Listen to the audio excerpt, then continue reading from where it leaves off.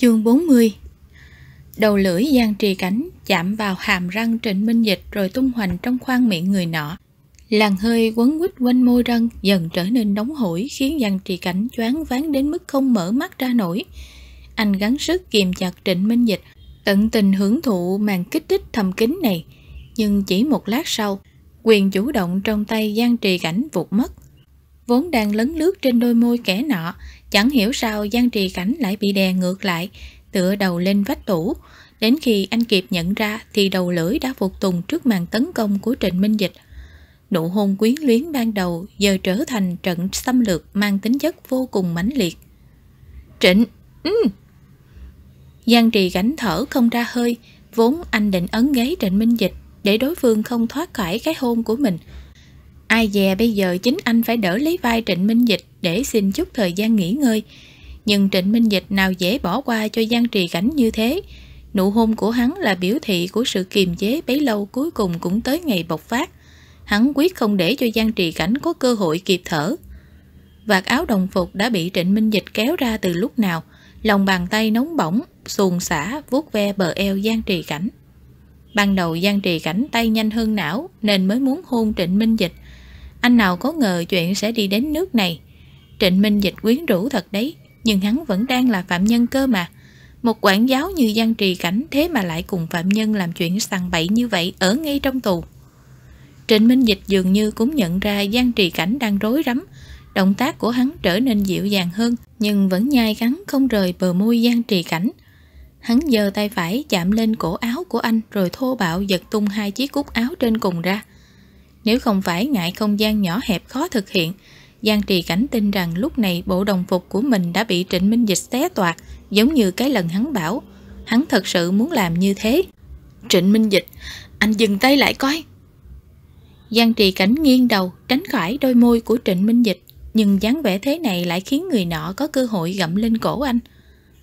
Là em ơi hàng tôi trước mà. Trịnh Minh Dịch khàn khàn lên tiếng, đầu vẫn vùi vào cần cổ Giang Trì Cảnh. Anh mới là người khơi màu đấy. Giang Trì Cảnh không dám gây ồn ào nên chỉ có thể nhỏ giọng phản đối. Giờ phút này hai người đều trong trạng thái khẩn như tên đã lên dây. Đúng lúc ấy, ngoài cửa sổ lại vang lên tiếng còi xe chữa cháy ngân dài. Tiếp đó là hàng loạt tiếng còi xe cảnh sát nối đuôi nhau. Cảnh sát và cứu hỏa đã đến chi viện, xem ra vở kịch đã đến hồi kết. Đầu óc Giang Trì Cảnh cuối cùng cũng được thả lỏng. Anh đẩy cửa tủ nghe rầm một tiếng, cả người nghiêng nghiêng ngã ngã bước ra ngoài. Nhìn dáng vẻ mình bây giờ có chỗ nào giống công chức nhà nước được người nể trọng chứ? Đúng là không ra thể thống gì hết. Anh vội vàng chỉnh trang y phục rồi đến bên cửa sổ ổn định lại nhịp thở, đồng thời xoa dịu nội tâm vẫn đang bồn chồn quá đổi. Sau lưng vang lên tiếng động, Trịnh Minh Dịch cũng di chuyển ra khỏi tủ. Giang Trì Cảnh quay ngoắt đầu lại, liếc xéo hắn một cái, dáng vẻ như mèo bị dẫm phải đuôi. Anh đừng có qua đây. Vất vả lắm mới bình tâm lại được. Giang Trì Cảnh không muốn bị Trịnh Minh Dịch khơi lửa thêm lần nữa. Nhưng rõ ràng nói vậy có hơi oan cho Trịnh Minh Dịch. Nhưng rõ ràng nói như vậy có hơi oan cho Trịnh Minh Dịch. Hắn vừa mới bước chân ra khỏi tủ nên hắn còn đứng xa Giang Trì Cảnh lắm. Sao em có thể như thế hả cảnh sát Giang? Trịnh Minh Dịch vừa bước tới vừa nhìn cánh tay bị thương của mình. Chén xong thì chạy, chưa thấy ai đẻo cán ra mặt như em. Giang Trì Cảnh, ba chấm. Hay lắm. Nhưng đúng là Giang Trì Cảnh đuối lý trước. Ai bảo thấy Trịnh Minh Dịch quyến rũ như thế lại không kìm lòng được cơ chứ. Ổn định tâm trạng xong, Giang Trì Cảnh đi tới chỗ Trịnh Minh Dịch rồi nâng cánh tay hắn lên, hỏi Tay anh vẫn ổn chứ? Không ổn. Trịnh Minh Dịch tỉnh bơ nhìn Giang Trì Cảnh. Em không thấy tôi đang bị chảy máu à? Giọng điệu nghe như đang hờn dỗi, trách Giang Trì Cảnh vô tâm, không nhìn thấy. Nhưng ngẫm kỹ lại thì có vẻ như hắn đang lên án hành vi đẻo cán ban nãy của Giang Trì Cảnh. Giang Trì Cảnh chột dạ đáp. Để tôi dẫn anh đến phòng y tế sơ cứu. Nói xong Giang Trì Cảnh nắm cổ tay Trịnh Minh Dịch, kéo hắn ra khỏi phòng giải trí. Lúc này bỗng gian lên tiếng bước chân của Kha Khá người ngay cầu thang bên kia. Giang Trì Cảnh lập tức dừng bước. Anh cứ ngỡ đó là đám lão cửu đang lên cơn cuồng dại, mất hết lý trí nên vẫn quyết truy đuổi tới cùng. Nhưng không ngờ người xuất hiện ở cầu thang lại là Hứa Thắng và công chúa, theo sau là người của đội tuần tra. Xem ra công chúa đã đến báo tin cho Hứa Thắng rồi hai người cùng gọi đội tuần tra đến đây. Cảnh sát Giang. Trông thấy bọn họ hứa thắng lên tiếng trước. Hai người không sao chứ? Vẫn ổn. Giang trì cảnh mặt mày tỉnh bơ Buông tay Trịnh Minh Dịch ra. Lão cửu đâu? Bị tóm ngay dưới lầu Đội trưởng đội tuần tra đáp lời. Thế tốt rồi. Giang trì cảnh thở vào nhẹ nhõm. Mọi chuyện cuối cùng cũng được giải quyết xong xuôi Không có ai vượt ngục cả. Trịnh Minh Dịch thì chỉ bị thương rất nhẹ. Tòa giam số 1 hẳn sẽ phải mất rất nhiều thời gian để xây dựng lại. Nhưng ít ra chuyện mà Giang Trì Cảnh lo lắng nhất đã không xảy ra. Đợi lão cửu biệt giam ra. Hứa Thắng lạnh lùng nói Tôi sẽ dạy dỗ hắn cho đàng hoàng Đội tuần tra vẫn còn đang ở đây mà hứa thắng dám nói như thế vì ngay cả quản giáo cũng biết hắn ta là người biết cân nhắc trước sau.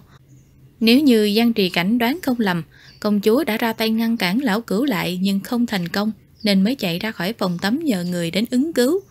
Rất có thể lão cửu còn động tay động chân với công chúa để ngăn y cản trở kế hoạch. Dĩ nhiên, đây cũng chỉ là suy đoán của Giang Trì Cảnh. Hứa Thắng đã nói như thế thì chuyện của lão cửu không liên quan gì đến anh nữa. Các quản giáo chạy đi chữa cháy, lục tục trở về lại tòa nhà công vụ. Giang Trì Cảnh đi đến phòng hành chính lấy chìa khóa giữ phòng, rồi dẫn Trịnh Minh Dịch đến phòng y tế. Thuốc sát trùng rơi tung tóe trên cánh tay. Trịnh Minh Dịch đau đến mức xoắn cả lông mày. Hắn nhìn Giang Trì Cảnh. Em có thể đừng thô lỗ với tôi như thế được không, cảnh sát Giang? Còn ý kiến ý cò nữa hả? Giang Trì Cảnh quấn băng gạt lên cho Trịnh Minh Dịch.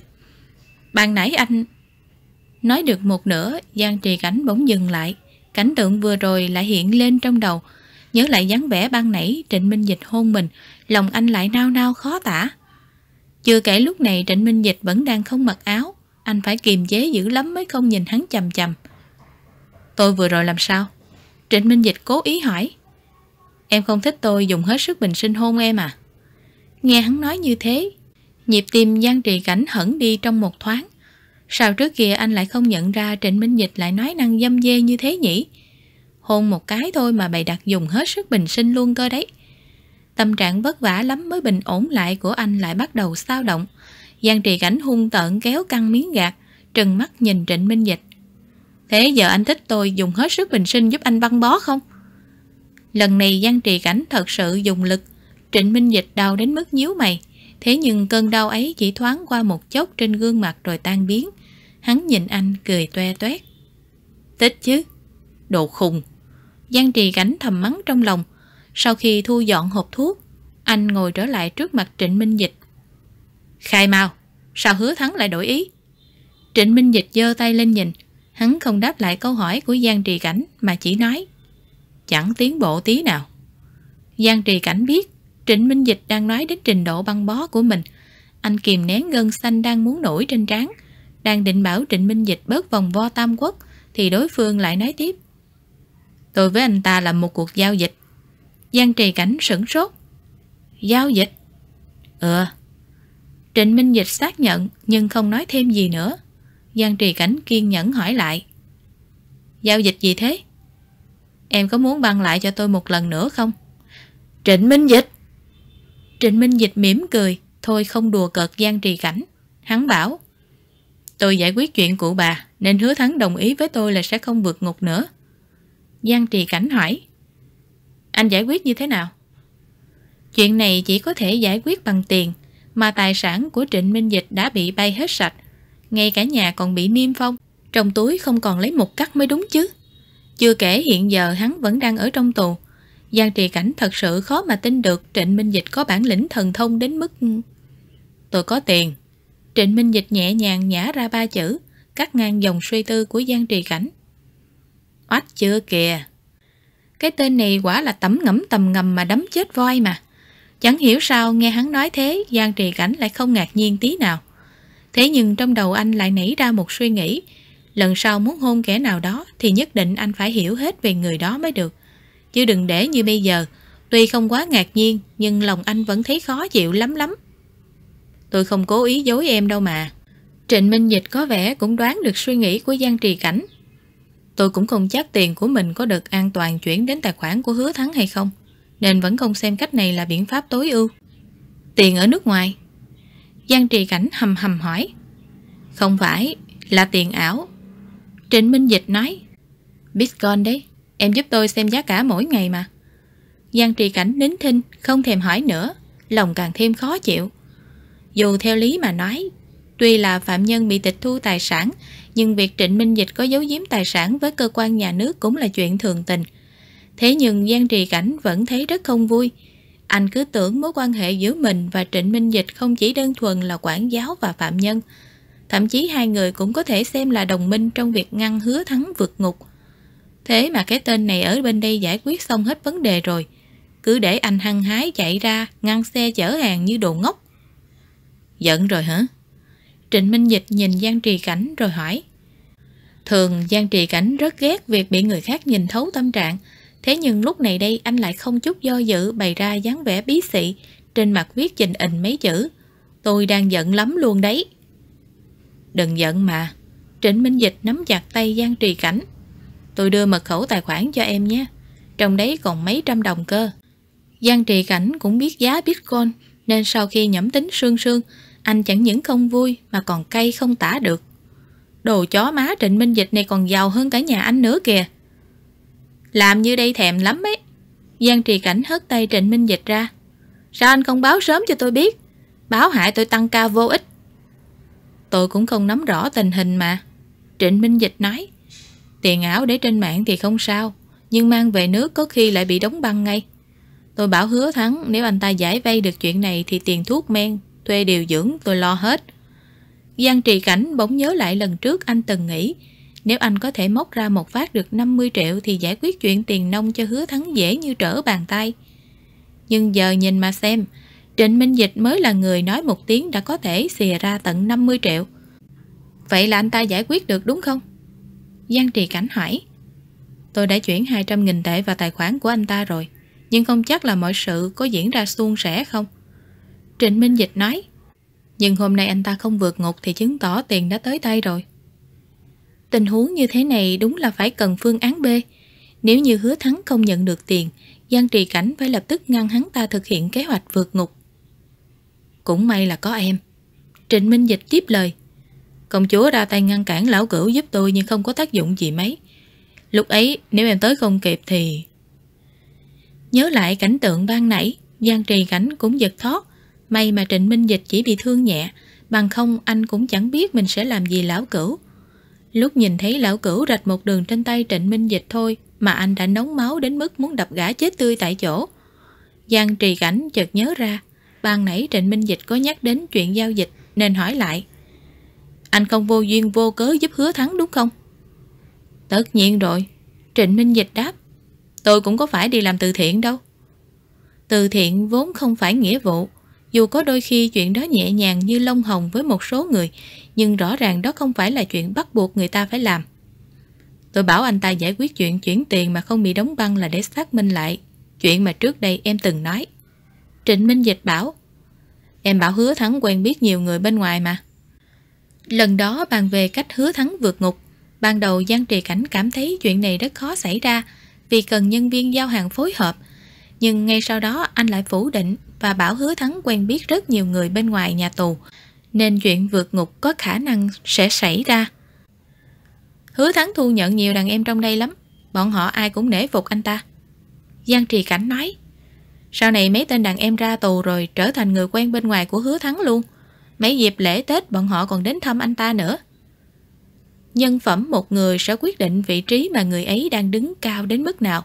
Có mối quan hệ rộng rãi và được nể trọng như vậy, chứng tỏ hứa thắng thật sự là người biết đối nhân xử thế.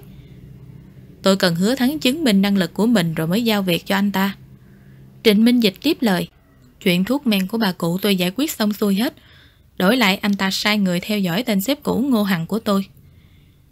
Việc Trịnh Minh Dịch đưa tiền cho Hứa Thắng là một phần của cuộc giao dịch mà việc Hứa Thắng có tìm ra cách để lấy được số tiền ấy hay không cũng là tiền đề để quyết định tính thành công của cuộc giao dịch. Quả là một mũi tên trúng hai con nhạn. Lại một lần nữa Giang Trì Cảnh bị ai quy của Trịnh Minh Dịch làm nhục chí. Não anh đã hình dung quá trình ngăn hứa thắng vượt ngục vô số lần, nhưng thật không ngờ đó chẳng phải là đại cục. Trịnh Minh Dịch mới là người kiểm soát mọi thứ trong tay ở vị trí vượt trội hơn anh. Giang Trì Cảnh không giấu vẻ khó chịu trên gương mặt. Giờ Giang Trì Cảnh thấy hối hận thật rồi. Ban nãy trốn trong phòng giải trí, anh không nên mất tự chủ mà đè Trịnh Minh Dịch ra cưỡng hôn. Sao lúc nào Trịnh Minh Dịch cũng là kẻ bày mưu kiểm soát mọi thứ thế hả? Thôi đừng cáo mà. Trịnh Minh Dịch vươn tay nhéo má Giang Trì Cảnh. Dẫn em đi chơi trò này vui lắm. Trò gì? Giang Trì Cảnh cao mày đẩy tay Trịnh Minh Dịch ra. Anh phát hiện kể từ sau nụ hôn ban nãy, cái tên Trịnh Minh Dịch này bắt đầu tái máy tay chân không hề kiên nể gì nữa. Tôi từng bảo rồi đấy, ván cờ đầu tiên đấu với sếp tôi đã thua rồi. Trịnh Minh Dịch nói, giờ là lúc bắt đầu ván tiếp theo. Em có muốn chơi cờ cùng tôi không? Hết chương 40 Vùng cấm Tác giả Không Cúc Chương 41 Tiếng mưa rơi rã rít rất hợp làm nhạc nền thư giãn khi đọc sách. Giang trì cảnh đặt quyển, kiến thức nhập môn cờ vây qua một bên rồi vào bếp pha một tách trà hoa cúc có tác dụng làm sáng mắt. Tuy là thủ thư, nhưng Giang trì cảnh hiếm khi mở sách ra đọc. Giờ bỗng nảy sinh hứng thú thì anh chợt nhận ra việc đọc hiểu không còn dễ dàng như thời đi học nữa. Quy tắc chơi cờ trông thì đơn giản, nhưng đòi hỏi người chơi phải động não rất nhiều. Giang trì cảnh càng đọc sách càng cảm thấy Trò chơi này đúng là rất hợp với con người Trịnh Minh Dịch. Anh vừa đọc sách vừa thư thả nghỉ ngơi, cuối tuần nhàn nhã cứ thế trôi qua phân nửa trong làng mưa. Hai ngày này, Giang Trì Cảnh vốn định làm tổ luôn trong nhà không ló mặt ra đường. Ấy thế mà chiều Chủ nhật Quang Vĩ lại gọi điện đến. Kế hoạch của anh xem như tan tành. Sự cố tuần rồi ở nhà tù phía Nam nghiêm trọng lắm không? Ngoài khu dân cư có một tiệm cà phê nhỏ, Quang Vĩ vừa lái xe đi từ nhà tù phía nam sang đây, y không giấu vẻ tò mò trên gương mặt. Cũng hơi nghiêm trọng, có phạm nhân phóng hỏa sinh sự thôi. Giang trì cảnh đáp. Nhà tù quyết định ban lệnh giới nghiêm, cấm cả thư tự lẫn cho người thân đến gặp. Tin tức về vụ cháy nhà tù đã rầm rộ khắp nơi, thậm chí còn được đưa lên đầu một trong bản tin khu vực. Nhưng thông tin về lệnh giới nghiêm vẫn cứ im ỉm không cho ai hay, thế nên quan vĩ không biết cũng là chuyện thường. Cũng biết lửa lúc gây sự phết. Quang Vĩ nhấp một ngụm cà phê, bày ra dáng vẻ âu lo. Ban nãy tôi tới đi gặp Trịnh Minh Dịch. Sao anh ta không để tôi tự xin vào gặp nhỉ? Anh tìm Trịnh Minh Dịch có việc à? Giang Trì Cảnh hỏi. Hôm nọ gặp nhau có nói đến chuyện trong ban ngành của tôi. Anh ta bày cho tôi mánh để tóm được đứa làm nội gián. Bảo tôi trước tiên là cứ tung mấy tin tức giả ra, sau đó dựa vào sự biến động giá cổ phiếu để đoán xem ai là nội gián. Biến động giá cổ phiếu sao? Giang trì cảnh ngạc nhiên. Mua bán cổ phiếu vốn là sàn đấu tin tức mà. Tin dù tốt dù xấu gì cũng sẽ gây ảnh hưởng đến thế trận thôi. Quang Vĩ đáp. Trịnh Minh Dịch phân tích từng khả năng một có thể xảy ra với mỗi tin tức cho tôi nghe. Tôi cứ thế ôm cây đợi thỏ và tóm được tên nội gián kia thôi. Chỉ dựa vào sự biến động giá cổ phiếu ư? Giang Trì Cảnh cảm thấy khó mà tin nổi. Đúng là chỉ dựa vào sự biến động giá cổ phiếu thôi. Quang Vĩ không khỏi cảm thán. Có một tin tức giả được tung ra là việc tôi đang nắm giữ bằng chứng bồ nhí của Chủ tịch Công ty Khoa học Công nghệ XX biển thủ công quỹ. Tin vừa nổ ra là có người lo bán thóc, bán tháo mới cổ phiếu của công ty này ngay. Do họ dự đoán được việc giá cổ phiếu sẽ sụt giảm mà. Giang Trì Cảnh hỏi. Chính xác. Quang Vĩ đáp. Chuyện này quả là kỳ lạ bởi những chính sách được công bố gần đây đều rất có lợi cho ngành khoa học công nghệ cơ mà. Giá cổ phiếu của bọn họ đang yên đang lành lại bắt đầu giảm, chứng tỏ có kẻ sau lưng giật dây. Giang Trì Cảnh chợt nhận ra cái tên công ty khoa học công nghệ XX này có hơi quen tai. Đây chẳng phải là công ty của đám người lần trước đến thăm tù sao? Giang Trì Cảnh nhớ lại cuộc trò chuyện khi ấy giữa Trịnh Minh Dịch và vị chủ tịch của công ty kia. Anh bèn hỏi. Đừng nói là cô bồ nhí kia biển thủ công quỷ thật nhé. Nói thật lòng chính tôi cũng không rõ. Tiện tay vung ra một tin tức giả. Như thế ai mà ngờ lại tạo nên phản ứng lớn đến như vậy. Đây gọi là có tật giật mình chăng? Quan Viễn nghiêm giọng tiếp lời. Giờ tôi đang nghi ngờ. Tất cả những tin tức Trịnh Minh Dịch đưa cho tôi đều là thật hết. Giang Trì Cảnh không nắm được toàn bộ sự việc nên cũng khó phân định tin thật tin giả. Anh chỉ biết thở dài bất lực. Đúng là phong cách của Trịnh Minh Dịch rồi. Từ đầu chí cuối vẫn luôn âm thầm kiểm soát mọi sự mà không để ai hay biết. Ban đầu tôi còn lo sợ chuyện này sẽ gây ảnh hưởng đến thị trường chứng khoán. nhưng suy đi tính lại thì bắt được nội gián mới là chuyện quan trọng hơn cả. Trên thực tế, nhất cử nhất động của cơ quan chức năng đều sẽ ảnh hưởng đến thị trường chứng khoán, thế nên quan vĩ mới cảm thấy nhỡ tung tin giả ra làm ảnh hưởng xấu đến thị trường thì không được hay ho cho lắm. Nhưng xét tình hình hiện tại thì chưa biết chừng tin giả mà y đưa ra lại là thật. Đã tóm được đứa làm nội gián trong ban ngành rồi. Giờ tôi chỉ muốn hỏi Trịnh Minh Dịch rằng tin tức là thật đúng không? Nếu đúng, tôi sẽ điều tra tới cùng. Nghe quan vĩ nói như thế, Giang Trì Cảnh lập tức nhíu mày. Không phải anh đang điều tra vụ án của Trịnh Minh Dịch à? Tra chứ, nhưng còn phải đợi anh ta giao bằng chứng cho tôi nữa. Quan Vĩ đáp. Lần trước gặp nhau anh ta bảo tôi bắt được nội gián rồi thì hẳn tới tiếp. Nói cách khác, Quan Vĩ cần Trịnh Minh Dịch vạch ra hướng đi cho hành động sắp tới.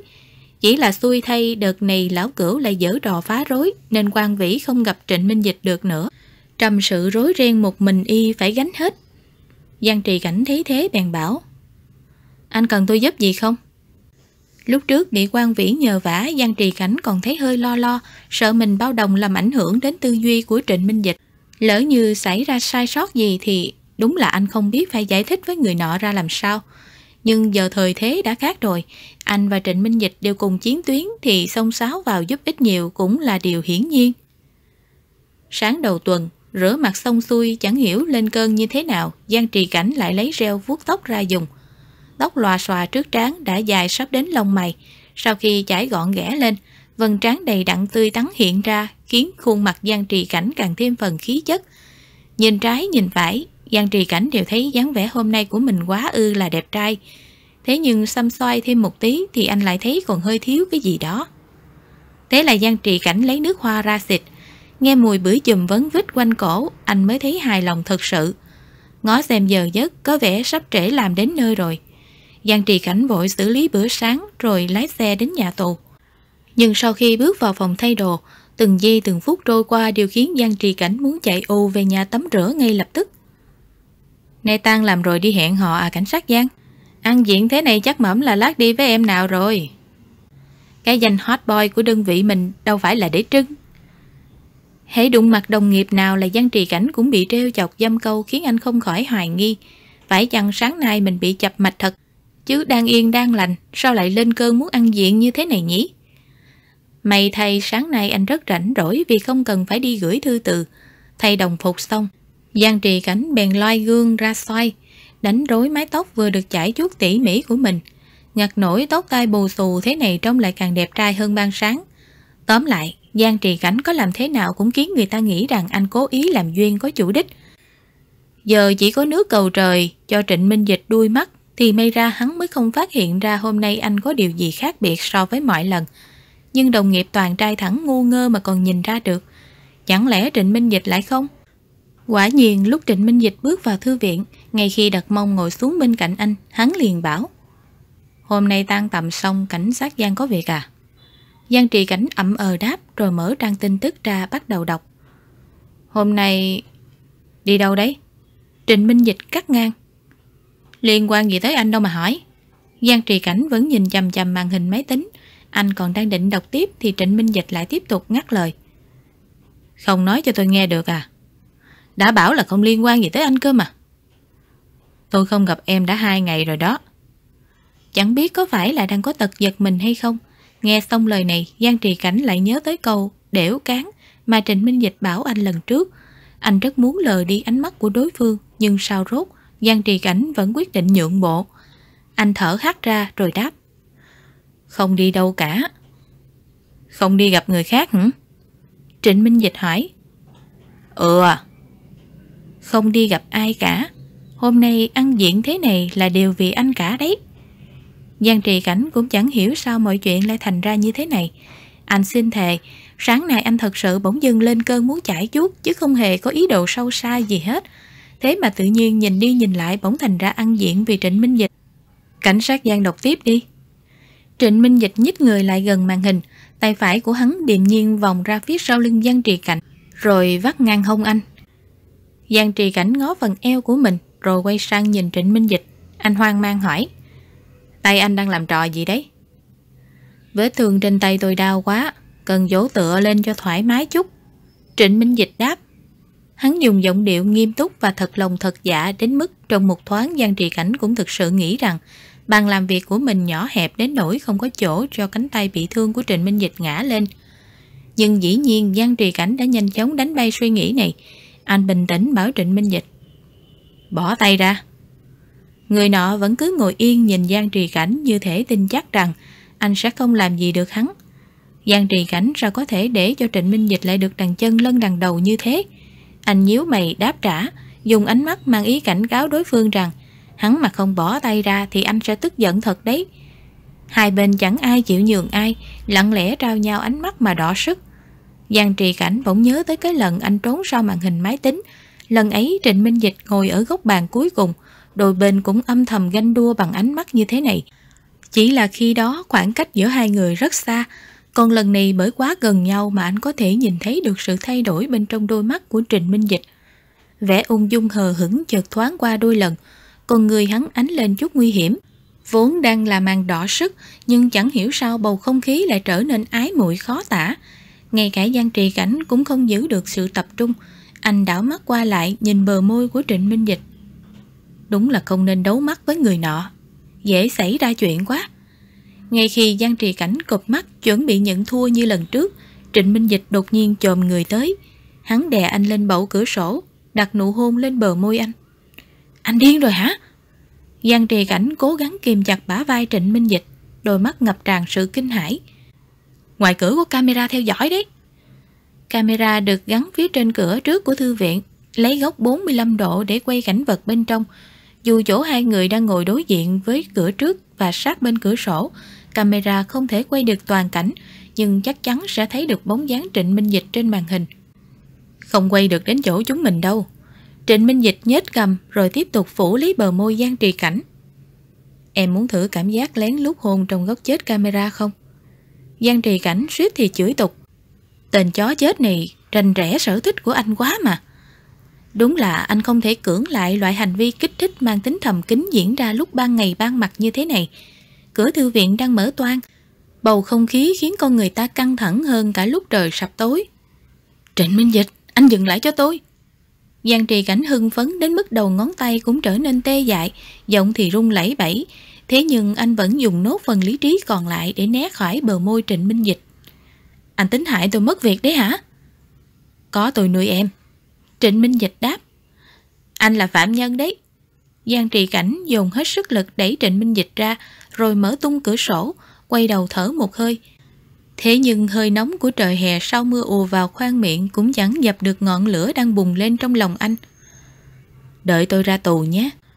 Trịnh Minh Dịch ở phía sau nhẹ nhàng lên tiếng. Giang trì cảnh nhanh chóng nhận ra bản thân không thể nào giữ bình tĩnh trong hoàn cảnh như thế này. Anh sập cửa sổ rồi đứng phát dậy nhìn Trịnh Minh Dịch. Đến phòng y tế đi, tôi băng bó lại cho anh. Trịnh Minh Dịch nhướng mày. Bây giờ à? Ngay bây giờ luôn. Giang trì cảnh hối thúc. Nhanh lên. Đặt chân vào địa bàn của Lạc Hải, lý trí Giang trì cảnh cuối cùng cũng quay về. Anh tới bàn làm việc của y, lấy hộp cứu thương ra rồi bảo. Em mượn tí nha. Cần anh vũ không? Lạc Hải nhìn cánh tay bị thương của Trịnh Minh Dịch. Thôi không cần, em tự làm được. Giang trì cảnh quay người, mang theo hộp cứu thương. Lạc Hải ngửi được mùi nước hoa trên người anh, bèn hỏi. À đúng rồi, nước hoa hồi trước anh tặng cậu dùng hết chưa đấy? Anh sắp mua lọ mới đây này. Cần thì anh mua thêm một lọ cho cậu nha. Khỏi đi, em tự mua lọ mới rồi. Giang trì cảnh thuận miệng đáp lời Lạc Hải nên không nhận ra rằng ánh mắt Trịnh Minh Dịch đang dần thay đổi. Tối nay cậu vào thành phố à?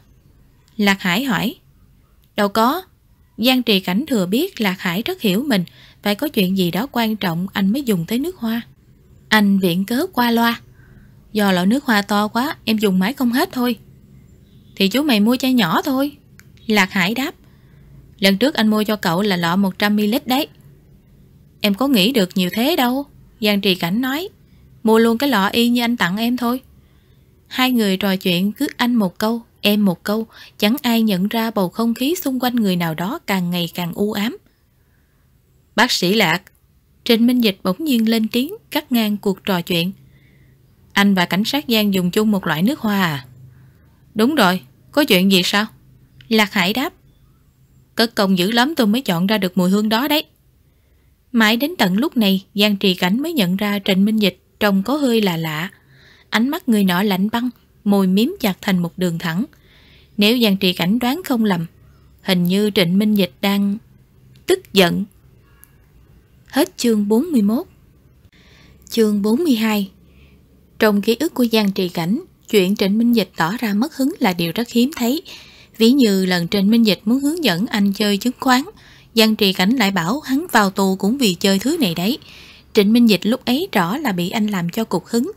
Rồi sau đó khi có tên tội phạm hiếp dâm định dê sòm anh ở phòng giải trí, Trịnh Minh Dịch đã đấm gãy răng kẻ nọ và nói rằng mình đang khó chịu trong lòng.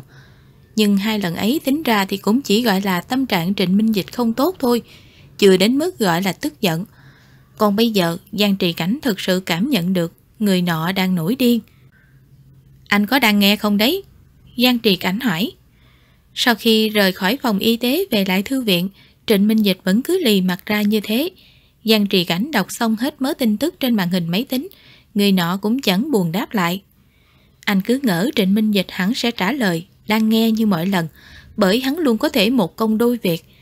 Về đâu hôm nay Trịnh Minh Dịch lại không kiên nể gì, lạnh lùng bật ra đúng hai chữ. Không nghe. Hay rồi, không chỉ tức giận mà còn đang dằn dỗi luôn kìa. Giang Trì Cảnh nhìn đồng hồ, sắp 9 giờ 40 rồi. Thông thường cứ giờ này là anh đã bảo người nọ rời khỏi thư viện, nhưng quả bom nổ chậm còn đang lù lù bên người. Giang Trì Cảnh cũng không dại mà chọc vào, nên đành thở dài một hơi rồi hỏi thẳng. Anh giận đấy hả? Em không nhìn ra được à? Trịnh Minh Dịch cuối cùng cũng quay sang nhìn Giang Trì Cảnh như thể từ nãy đến giờ hắn đang chờ đợi câu hỏi này. Trong phản ứng của người nọ, Giang Trì Cảnh vừa bực vừa buồn cười. Bình thường thông minh là thế, có ai ngờ Trịnh Minh Dịch lúc bực bội lại làm mình làm mẩy, dồn hết cảm xúc lên mặt như thế chứ. Giang Trì Cảnh chợt nghĩ, nếu Trịnh Minh Dịch tham gia Olympic toán học và chỉ xếp Á quân, hắn là người nọ sẽ bực bội đứng một bên chờ ai đó đến an ủi. Vì chuyện nước hoa sao? Giang Trì Cảnh bỗng nổi hứng trêu đùa, dùng vẻ mặt tỉnh như không, hỏi tiếp lời. Tôi dùng nước hoa nào thì cũng có liên quan gì tới anh đâu. Giang Trì Cảnh Trịnh Minh Dịch nhíu mày. Em hiểu định nghĩa của từ chia tay không? Chia tay rồi thì sao em còn dùng nước hoa do bạn trai cũ tặng? Nếu Giang Trì Cảnh nhớ không lầm, Trịnh Minh Dịch chưa bao giờ gọi tên anh một cách nghiêm túc như thế. Bày mưu tính kế rồi khống chế đại cục cái gì chứ? Lúc này Giang Trì Cảnh chỉ cảm thấy ai kia như chú sóc đất khổng lồ đang nổi khùng lên thôi. Bộ chia tay là không được dùng nước hoa người cũ tặng hả?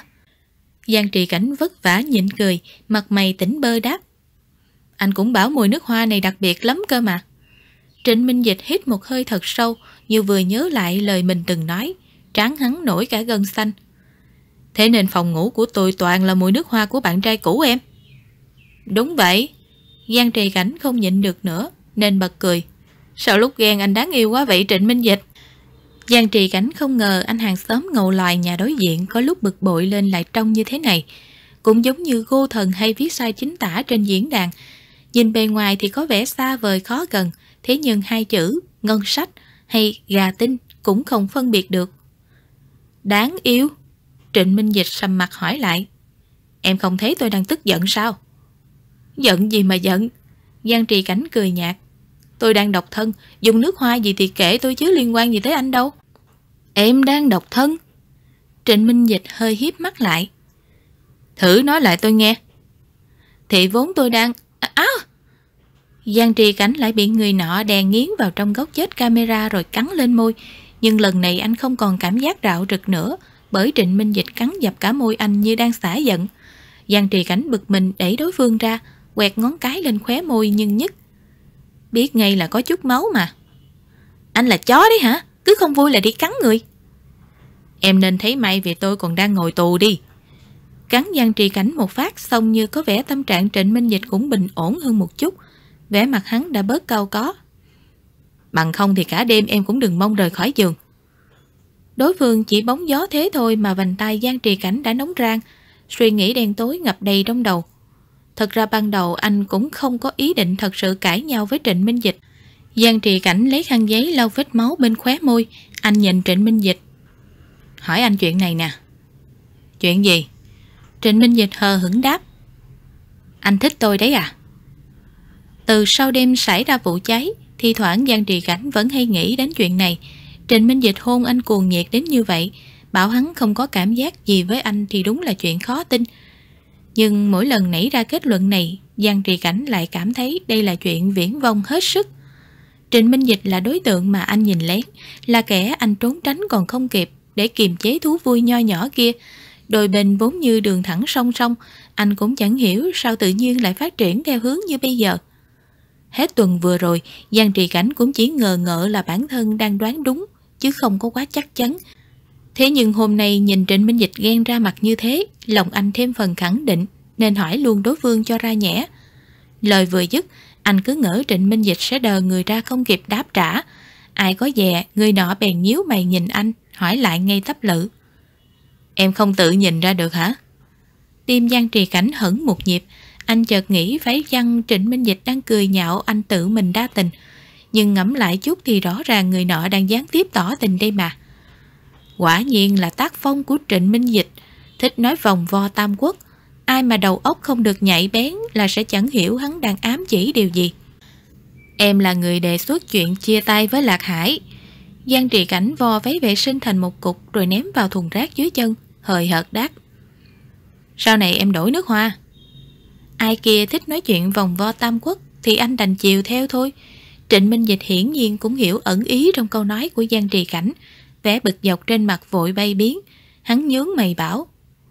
Để tôi chọn cho em. Ừ à. Giang Trì Cảnh không muốn bàn chuyện nước hoa nữa nên lãng sang chủ đề khác. Hôm qua Quan Vĩ đến gặp em. Anh ta bảo muốn gặp anh nhưng không được. Quan Vĩ bắt được nội gián rồi. Trình Minh Dịch cũng không quá ngạc nhiên. Em thích mùi nước hoa tự nhiên hay nhân tạo? Mùi tự nhiên. Giang Trì Cảnh vô thức trả lời, lại quay về chính sự tiếp. Quang Vĩ bảo, được anh cung cấp cho vài thông tin. Mấy tin đấy không lẽ đều là thật hết à? Là thật. Trịnh Minh Dịch nói. Trong thư viện có sách về nước hoa không? Không có. Giang Trì Cảnh đáp. Sao anh biết nhiều thông tin mật quá vậy? Hoàng nó hắt email của Ngô Hằng giúp tôi. Tung ra một tin tức chấn động như thế, nhưng Trịnh Minh Dịch lại rất điềm nhiên. Đợi tôi ra tù sẽ chọn nước hoa cho em. Trong thời gian này không được phép xịt nước hoa nữa. Khoan khoan.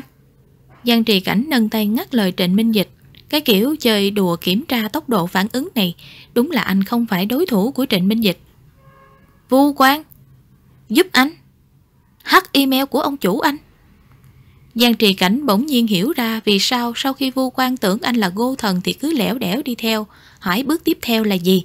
Thậm chí còn nhắc anh và Trịnh Minh Dịch có làm gì cũng cho nó tham dự. Ra là gô thần đã sắp xếp nhiệm vụ cho Vu Quang từ trước. Sau này lúc Trịnh Minh Dịch bị hãm hại phải vào tù, Vu Quang rảnh rỗi sinh nông nổi nên hát luôn trang web của chính phủ rồi mới bị sổ khám lần nữa. Mấy tháng trước tôi có phát hiện Ngô Hằng đang thao túng thị trường chứng khoán nhưng vẫn không có bằng chứng xác thực trong tay. Mai sau lúc ấy trên diễn đàn lại quen được A Quang là hacker nên bảo nó theo dõi email của Ngô Hằng giúp. Nhờ vậy mà biết được rất nhiều tin mật. Nói tới đây Trịnh Minh Dịch bỗng ngừng lại. Giang Trì Cảnh cũng quen với cái bệnh thích nhử mồi của hắn nên rất phối hợp, hỏi tiếp. Rồi sao nữa? Bằng chứng được thu thập một cách không minh bạch thì dĩ nhiên không được pháp luật công nhận. Tôi chỉ có thể góp nhặt rồi phân tích những vụ giao dịch bất thường trên thị trường chứng khoán và nặc danh gửi báo cáo đi. Ý của anh là, Giang trì cảnh ngạc nhiên Ngay từ ban đầu, đội điều tra chú ý đến việc làm ăn của hàng tường có vấn đề là nhờ anh mật báo Ừ Trịnh Minh Dịch đáp, Nhưng tôi đã đánh giá thấp Ngô Hằng quá. Làm mấy chuyện phi pháp này thì dĩ nhiên hắn luôn chừa đường lui cho mình. Vừa thấy có biến là đã triệt tiêu hết mọi bằng chứng. Đội điều tra không tìm ra được kết quả, Nên anh mới định tự tay giao bằng chứng cho họ. Chính là nội dung email của Ngô Hằng Mà anh gửi Quang Vĩ.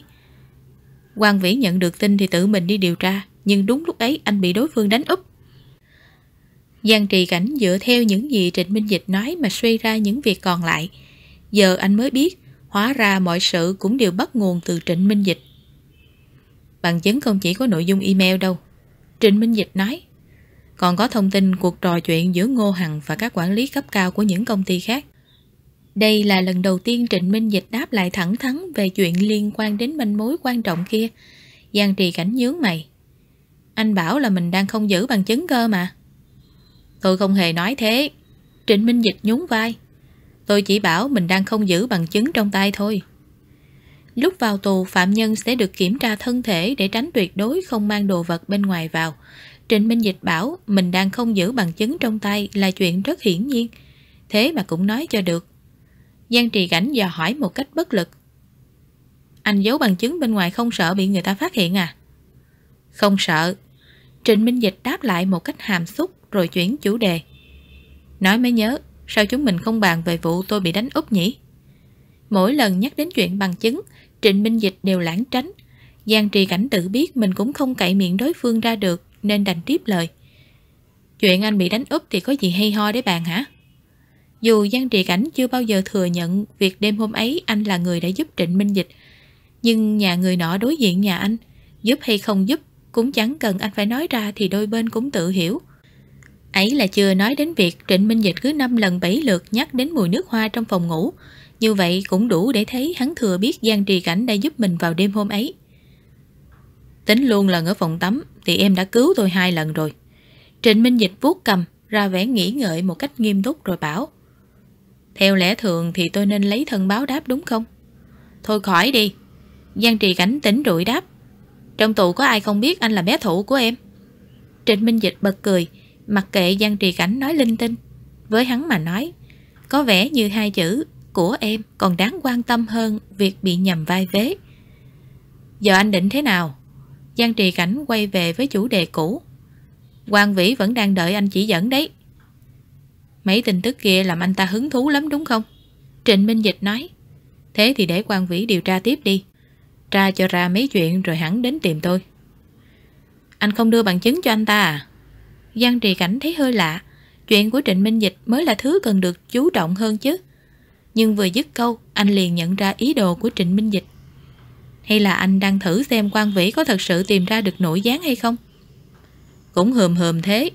Trịnh Minh Dịch đáp. Tôi muốn xem bản lĩnh quan vĩ thế nào thì mới an tâm giao chuyện của mình cho anh ta điều tra chứ. Tình cảnh này giống y như lúc làm việc cùng hứa thắng. Trịnh Minh Dịch sẽ không tùy tiện để cho người khác tham gia vào chuyện của mình. Sau khi xác nhận đối phương có năng lực phù hợp thì hắn mới xem họ là đối tác để đôi bên cùng đổi chác có lợi. Nói hơi khó nghe thì không phải ai cũng đủ điều kiện để tham gia vào trò chơi của Trịnh Minh Dịch. Ví như hứa thắng phải chứng minh vây cánh của mình là phường đắc lực thì Trịnh Minh Dịch mới giúp hắn giải quyết vấn đề tiền bạc. Hoàng Vĩ cũng thế, y phải chứng minh mình có bản lĩnh xuất sắc thì Trịnh Minh Dịch mới giao cho y được cơ hội phá án và lập công. Việc Trịnh Minh Dịch giao cho quan Vĩ những tin tức chân thật nhưng không có bằng chứng rõ ràng phần là để quan vĩ tìm ra được nội gián, phần là để y tiếp tục điều tra cho ra chân tướng, đồng thời thử xem đối phương có bắt được nội gián hay không. Trình độ này không chỉ đơn giản là một mũi tên trúng hai con nhạn, mà Trịnh Minh Dịch thật sự đang kiểm soát hướng đi của vụ án trong khi hắn vẫn đang ngồi tù. Cơ mà, Giang Trì Cảnh bỗng dưng nhớ ra một chuyện. Nếu đã vậy sao ngay từ đầu anh lại không chịu gặp quan vĩ? Lúc ấy tôi vẫn chưa định sẽ hạ ván cờ tiếp theo sớm đến như vậy. Trịnh Minh Dịch đáp. Sao giờ anh lại đổi ý rồi? Giang Trì Cảnh hỏi. Vì em chứ sao? Trịnh Minh Dịch bẹo má Giang Trì Cảnh. Em bảo tôi gặp quan vĩ còn gì? Dù em bảo tôi nên tự mình quyết định, nhưng ít ra như vậy đủ để tôi biết trong lòng em thì quan vĩ là một người tốt.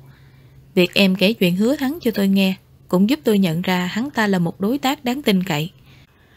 Tóm lại nếu không nhờ em thì mọi việc không diễn ra suôn sẻ như thế này được đâu. Xem ra Giang Trì Cảnh đã giúp Trịnh Minh Dịch giảm bớt độ khó của trò chơi này, giúp hắn có thể tăng tốc để bày bố ván cờ tiếp theo. Bản thân Giang Trì Cảnh cũng không ngờ mình lại có vai trò lớn lao đến vậy. Anh ngượng ngùng hất tay Trịnh Minh Dịch ra, dương dương tự đắc đáp. Đấy là do trùng hợp thôi. Chắc là vậy. Trịnh Minh Dịch bỗng dưng gọi. Giang Giang. Hử? Giang trì cảnh nhíu mày. Anh gọi em kiểu gì đấy? Không thích à? Thế gọi cảnh cảnh. Cảnh sát Giang. Giang trì cảnh sửa lưng. Cái tên này đúng là được voi đòi tiên mà. Sợ tin đồn về chuyện hai người chưa đủ gây cấn hay sao? Trịnh Minh Dịch ồ một tiếng cho có rồi chân thành gọi. Cảnh sát Giang. Em có mong tôi sớm được ra tù không? Nói không thì hiển nhiên là dối trá Trịnh Minh Dịch bị người ta hãm hại phải vào đây. Chỉ cần là người bình thường thôi cũng chẳng ai muốn phải chứng kiến án oan như thế. Thêm nữa, Trịnh Minh Dịch mà được ra ngoài thì mới suy nghĩ đen tối trong anh mới được hiện thực hóa chứ. Cơ mà nói một cách khách quan thì có muốn hay không cũng chẳng có tác dụng gì. Anh có phải là thẩm phán đâu mà được quyền quyết định. Mong hay không mong anh hỏi làm gì? Giang trì cảnh lập lờ nước đôi. Tới lúc cần thì tự nhiên anh sẽ được thả ra thôi. Thế cơ à? Trịnh Minh Dịch lơm lơm nhìn Giang trì cảnh như đã biết tổng suy nghĩ trong anh. Hắn nhẹ nhàng thốt lên ba chữ. Vờ đứng đắn. Hết chương 42 Chương 43 Sau khi Trịnh Minh Dịch rời đi, Giang Trì Cảnh đến chỗ Lạc Hải để lấy ít cồn đỏ thoa lên vết thương nơi khóe miệng. Anh không có ý định che giấu, vì đằng nào lát nữa khi đi ăn cơm cùng Lạc Hải cũng sẽ bị nhìn thấy, giấu giếm chẳng có ích gì. Nghĩ tới đây Giang Trì Cảnh chợt nhận ra, anh cứ ngỡ Trịnh Minh Dịch cắn môi mình là do bỗng dưng lên cơn, nhưng giờ nghĩ lại mới thấy cái đồ chó nham hiểm này rõ ràng là đang âm mưu tuyên bố chủ quyền.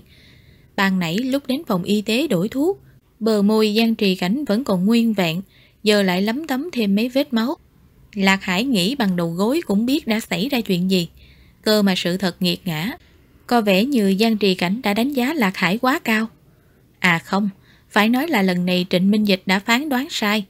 Lạc Hải đứng dựa vào bàn làm việc, hai tay khoanh trước ngực, nghiêm mặt nhìn Giang Trì Cảnh. Trịnh Minh Dịch ăn hiếp cậu đấy hả? Nghe y nói thế, Giang Trì Cảnh bỗng muốn cười, khóe môi dần giật, kéo theo cơn đau khiến anh phải suýt xoa. Giang Trì Cảnh cố nhịn cười, quăng chiếc tăm bông trong tay qua một bên rồi hỏi lại. Anh thấy chuyện đó có khả năng xảy ra không? Với tính nết của Giang Trì Cảnh, nếu như Trịnh Minh Dịch mà bắt nạt anh đúng như Lạc Hải nghĩ, thì giờ người đang nằm một cục trong phòng y tế chính là hắn đấy. Thế môi cậu bị làm sao đấy? Lạc Hải vẫn không nghĩ mọi chuyện sẽ đi theo chiều hướng kia. Anh ấy giận nên cắn em thôi. Giang Trì Cảnh nói.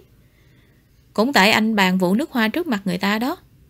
Lượng thông tin mà hai câu này đem lại lớn đến mức vẻ mặt Lạc Hải thay đổi liên hồi. Mãi một lúc sau, y mới hỏi lại một cách không chắc chắn. Cậu và hắn tao quen nhau rồi. Vâng. Giang Trì Cảnh thản nhiên đáp. Chỗ anh và Lạc Hải làm việc đối diện với nhau, đôi bên ngày nào cũng đụng mắt, giấu giếm chỉ thêm tốn công. Chưa kể Lạc Hải lúc nào cũng lo lắng cho đường tình duyên của anh, giờ là cơ hội để đối phương bưng bớt việc đó lại. Đồng thời nhắc nhở Lạc Hải sau này phải biết lựa lời mà phát ngôn hơn. Đương nhiên vế sau mới là chuyện quan trọng hơn cả, bằng không nhớ Lạc Hải vô tình chọc điên Trịnh Minh Dịch. Cuối cùng, người chịu trận chính là Giang Trì Cảnh Anh đây. Không chịu nghe lời khuyên gì hết. Lạc Hải thở dài. Hắn ta là tội phạm đó. Lý trí của chú mày bay theo mỹ mạo luôn rồi hả? Lạc Hải cứ luôn miệng nói Trịnh Minh Dịch là người xấu, nhưng Giang Trì Cảnh cũng không có ý định trách y, bởi nội tình mà Lạc Hải nắm được trong sự kiện lần này còn thua cả vu quan. Anh có tin em không? Giang Trì Cảnh nói. Anh ấy không phải có tội. Tù nhân than thở mình vô tội trong tù này chắc ít quá hay gì? Anh ấy là hàng xóm của em. Lạc Hải sững sờ ngay lập tức. Hàng xóm? Giang Trì Cảnh tóm tắt lại chuyện của Trịnh Minh Dịch cho Lạc Hải nghe, dĩ nhiên là đã lượt lượt bỏ những chi tiết không cần thiết. Trong thoáng chốc phải tiếp thu một lượng thông tin vô cùng khủng khiếp, Lạc Hải dường như cũng không biết mình nên thắc mắc chỗ nào, nên cuối cùng chỉ bật ra một câu. Tóm lại Trịnh Minh Dịch là người tốt đúng không? Em tin anh ấy. Giang Trì Cảnh nói. Lạc Hải cũng không phải là người quá cố chấp. Nghe Giang Trì Cảnh nói thế nên y chỉ còn thôi không thành kiến với Trịnh Minh Dịch nữa. Y thở dài bất lực đáp. Anh đã nhìn ra rồi mà. Chú mày bị Trịnh Minh Dịch hớp hồn. Giang Trì Cảnh không phủ nhận. Nhưng Lạc Hải có lẽ cũng không hề biết Trịnh Minh Dịch hớp hồn anh đến mức nào. Cái đêm cưỡng hôn Trịnh Minh Dịch hoàn toàn không phải là do anh hưng phấn nhất thời, mà đó là ham muốn được kìm nén bấy lâu nay đã bộc phát. Thế giờ hắn ta tính thế nào? Lạc Hải hỏi. Ra tù càng sớm càng tốt. Giang Trì Cảnh tin rằng Trịnh Minh Dịch sẽ tìm cách để ra tù nhanh nhất có thể, nhưng dĩ nhiên đây không phải là chuyện có thể xong trong một sớm một chiều. Hắn vẫn cần có kế hoạch rõ ràng. Vụ quan có liên quan gì tới vụ này không? Lạc Hải nhíu mày, có vẻ như y đã hiểu ra lý do khiến vu quan trở nên khác thường. Gần đây nó cứ chạy qua chỗ cậu không đấy. Chuyện này hơi khó để có câu trả lời đúng đắn, bởi vu quan cũng chỉ góp một chân nho nhỏ, thậm chí gô thần là ai cu cậu cũng không nhận ra được nữa mà. Giang trì cảnh còn chưa biết đáp lại như thế nào, thì bỗng có bóng dáng ai đó cầm cây chổi sọc vào phòng y tế.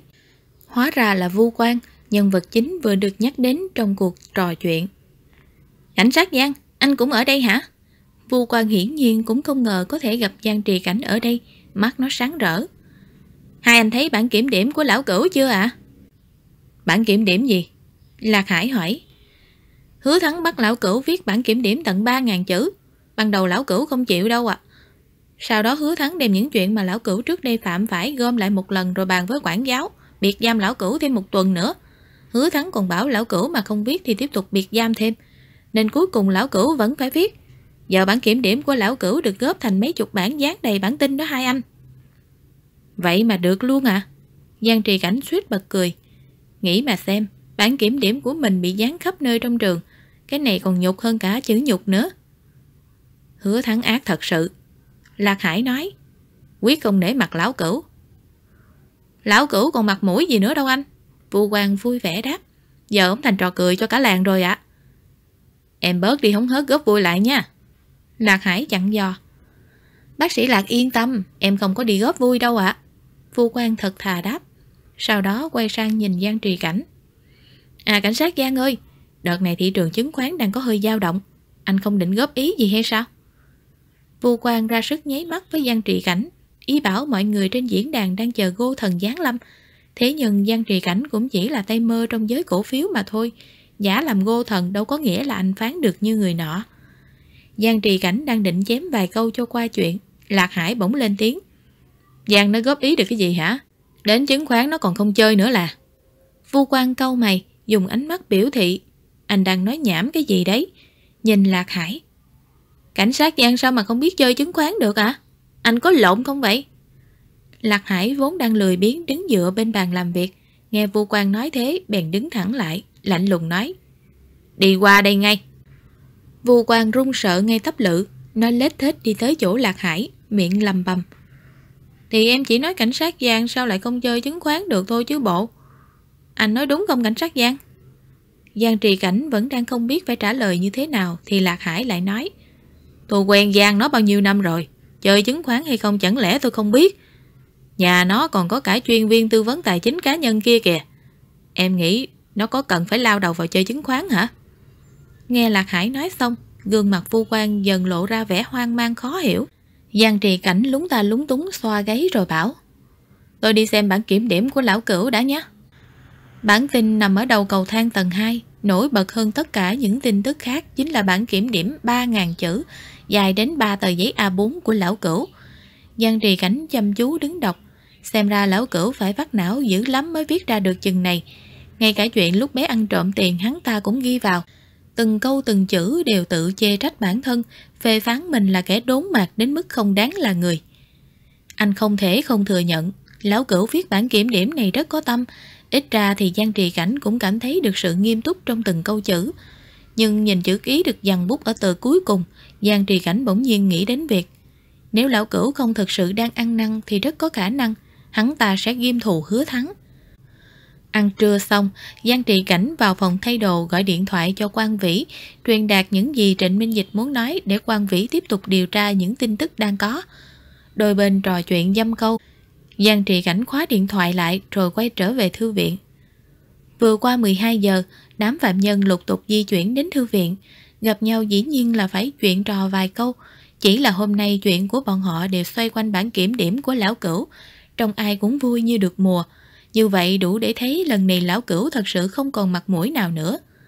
Chừng vài phút sau, thư viện kính bưng những gương mặt quen thuộc, bầu không khí ồn ào cũng dần lắng lại. Nhưng kỳ lạ thay, bóng dáng Trịnh Minh Dịch vẫn chẳng thấy đâu. Giang Trì Cảnh thi thoảng vẫn nhìn đồng hồ, mãi đến 12 giờ rưỡi, Trịnh Minh Dịch vẫn không đến. Anh bực bội ngó ra ngoài cửa sổ lại không ngờ thấy Trịnh Minh Dịch và Hứa Thắng đang ngồi ở góc sân. Cũng chẳng biết là đang bàn bạc chuyện gì. Hứa thắng cứ nói được vài câu thì Trịnh Minh Dịch lại khẽ gật đầu. Đúng lúc này dường như hắn cảm nhận được ánh mắt của Giang Trì Cảnh nên ngẩn phát đầu nhìn về phía thư viện, dùng khẩu hình bảo Giang Trì Cảnh. Đợi tôi. Giang Trì Cảnh cụp mắt không đáp trả. cơn bực dọc trong lòng đã tiêu tan không ít, nhưng chỉ một lát sau anh lại tò mò ngó ra bên ngoài cửa sổ. Hứa Thắng vẫn cứ đang nói, Trịnh Minh Dịch vẫn cứ đang nghe. Nhìn dáng vẻ hai người nọ cứ như thể Hứa Thắng đang báo cáo công việc cho Trịnh Minh Dịch nghe. Chẳng hiểu sao Giang Trì Cảnh bỗng có cảm giác Trịnh Minh Dịch mà không ra tù thì nói không chừng sẽ trở thành đại ca trong đây mất. Anh quản thúc con hàng của mình lại được không? Giang Trì Cảnh còn đang mãi mê suy ngẫm thì bên tai bỗng vang lên giọng của công chúa. Anh lười biến chuyển tầm mắt sang kẻ nọ. Thế cậu quản thuốc thằng bồ của mình cho đàng hoàng được không? Nói cái gì mà lâu dữ thần, cứ dính lấy Trịnh Minh Dịch không buông. Công chúa có vẻ như cũng bất ngờ khi thấy Giang Trì Cảnh công khai bộc lộ tính chiếm hữu của mình với Trịnh Minh Dịch như thế. Y công mắt mỉm cười, dựa hẳn cả người lên bàn rồi thỏ thẻ. Trịnh Minh Dịch là thụ thật hả? Giang Trì Cảnh hỏi lại, liên quan gì tới cậu không? Hôm nọ anh bảo tôi theo dõi lão cửu đấy. Công chúa tiếp lời, tôi cố ý đổi lịch để đến phòng tắm rửa cùng ngày với bọn họ công chúa bị giam ở tòa nhà số 2, trong khi Trịnh Minh Dịch và Lão Cửu bị giam ở tòa nhà số 1. Bình thường dĩ nhiên đôi bên sẽ không tắm cùng giờ với nhau. Cái của anh ta bự lắm. Công chúa cố ý kéo dài hai chữ cuối một cách rất rõ ràng. Tự nhiên tôi thấy việc ảnh là thụ hơi bị phí. To như thế mà là thụ thì đúng là phí của trời. Mười đời chẳng có. Cậu! Đầu óc Giang trì cảnh có hơi trì đệ Cậu mà cũng biết nói thành ngữ sao? Công chúa nhướng mày, tỏ vẻ bất mãn. Làm như tôi chưa học hết cấp 1 hay gì? Mà thôi, đây cũng có phải là trọng điểm câu chuyện đâu. Giang Trì Cảnh vẫn cố giữ vẻ mặt bình tĩnh hỏi tiếp. Cậu tắm cùng Trịnh Minh Dịch rồi hả? Thì cái hôm lão cửu quậy tung lên đó. Công chúa nói. Anh bảo tôi theo sát lão cửu còn gì? Trịnh Minh Dịch và lão cửu tắm cùng chỗ mà. Nghe công chúa nói như thế, não Giang Trì Cảnh loạn cào cào. Phải một lúc sau anh mới chấp nhận sự thật vừa được phơi bày trước mặt mình. Công chúa đã nhìn thấy chỗ đó của Trịnh Minh Dịch. Sao trước giờ anh chưa nghĩ đến chuyện này nhỉ? Phạm nhân tắm rửa ở trong phòng công cộng nên ai cũng trần truồng như ai. Nói cách khác, tất cả những kẻ cùng tắm chung với Trịnh Minh Dịch đều đã thấy qua chỗ ấy của hắn. Đây là chuyện bình thường đến không thể bình thường hơn, cũng tương tự như khi đi bơi, lúc vào phòng thay đồ, mọi người sẽ cũng so kè xem ai to hơn, ai nhỏ hơn mà thôi. Đúng vậy, chuyện rất ư là bình thường. Giang trì cảnh liên tục tự an ủi bản thân, nhưng lòng anh vẫn đang dậy sống.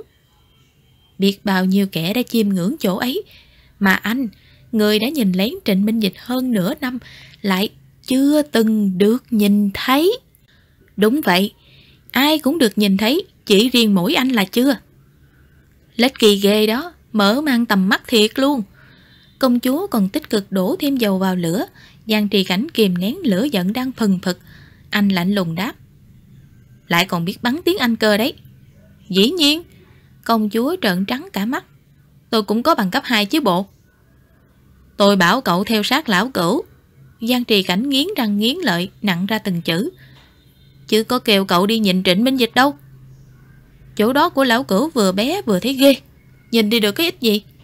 Công chúa chê bai xong thì thích thú nhìn Giang Trì Cảnh. Ấy da Cảnh sát Giang của chúng ta ghen rồi hả? Giang Trì Cảnh không hề ghen. Anh đang tức điên mới đúng Hết chương 43 Chương 44 Giang Trì Cảnh không muốn nói chuyện với Trịnh Minh Dịch. Trừ phi hắn cởi quần ra Cơ mà vấn đề nghịch lý ở đây chính là Giang Trì Cảnh cứ im ỉm chẳng nói gì thì Trịnh Minh Dịch sẽ không cởi quần. Nhưng nếu Trịnh Minh Dịch không cởi quần thì Giang Trì Cảnh lại không thèm nói chuyện với hắn.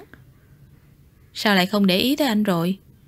Cứ đúng giờ các phạm nhân khác lại rời đi, còn Trịnh Minh Dịch đã sớm ngồi vào bàn làm việc. Hiềm một nỗi, từ nãy đến giờ Giang Trì Cảnh cứ lơm lơm nhìn tờ báo trong tay, quyết tâm mặc kệ Trịnh Minh Dịch. Công chúa nói gì với em đấy? Hiển nhiên ban nãy Trịnh Minh Dịch nhìn qua cửa sổ nên biết công chúa đến trò chuyện với Giang Trì Cảnh. Giang Trì Cảnh vẫn không ừ hử gì, bình tĩnh nhấp một hớp nước, xem lời Trịnh Minh Dịch như gió thoảng qua tai. Được rồi, thế để anh qua hỏi công chúa vậy. Trịnh Minh Dịch đứng bật dậy, ra vẻ như sắp rời khỏi khu vực làm việc. Giang Trì Cảnh vội bỏ tờ báo xuống, chụp lấy cổ tay hắn rồi ghim giọng. Anh ngồi yên đó. Nếu Trịnh Minh Dịch thật sự chạy đến hỏi công chúa thì hỡi ôi, Chắc ngày mai toàn bộ phạm nhân ở đây đều sẽ biết Giang Trì Cảnh nổi điên vì người khác nhìn con chim non của Trịnh Minh Dịch. Khéo lúc đấy bọn họ lại rồng rắn lên mây kéo nhau đi ngắm chim Trịnh Minh Dịch. Đúng là không thể chịu nổi mà. Giận anh à. Trịnh Minh Dịch ngồi xuống, nắm ngược lại bàn tay Giang Trì Cảnh, đầu ngón tay hắn khẽ cào lên lòng bàn tay anh. Sao không chịu nói anh nghe lý do chứ? Vì lý do quá khó nói chứ còn sao nữa. Giang Trì Cảnh đặt ly nước trong tay xuống, ra vẻ hờ hững nói. Bình thường đứa nào hay tắm chung với anh đó? Giang Trì Cảnh muốn điều nghiên thử xem trong đám người đã nhìn thấy con chim non của Trịnh Minh Dịch có đứa nào lẳng lơ không. Nhớ mà có thì ngày thường anh còn biết đường chú ý thêm một chút. Ai có dè, Giang Trì Cảnh vừa hỏi xong, Trịnh Minh Dịch lập tức nghiêng đầu nhìn anh rồi hỏi. Không thích người khác nhìn anh à? Đàn ông thông minh quá cũng mệt thật đấy. Làm gì có? Giang Trì Cảnh đáp. Em hỏi chơi thôi. Trịnh Minh Dịch không đáp, hắn cứ nhìn Giang Trì Cảnh chăm chăm rồi bật cười. Em muốn nhìn không? Hiển nhiên Trịnh Minh Dịch đã đoán được nội dung cuộc trò chuyện giữa công chúa và Giang Trì Cảnh. Không thèm. Giang Trì Cảnh câu mày. Anh thích cho ai xem thì cho. Công chúa miêu tả chi tiết lắm hả? Trịnh Minh Dịch mập mờ kéo tay Giang Trì Cảnh để bàn tay anh miết lên bắp đùi hắn. Cậu ta đứng xa lắm, không nhìn rõ đâu. Thế mà còn chưa rõ. Nhớ đến bộ dạng của công chúa khi bảo thật mở mang tầm mắt, Giang Trì Cảnh lại nổi cơn tam bành tiếp. Anh biết cậu ta ra vẻ đắc ý trước mặt em như thế nào không hả? Lần này Trịnh Minh Dịch cười như được mùa, mãi một lúc sau hắn mới lên tiếng bảo. Không riêng gì công chúa, nhiều người cũng được nhìn thấy mà. Tự hào quá cơ đấy. Giang Trì Cảnh lườm Trịnh Minh Dịch.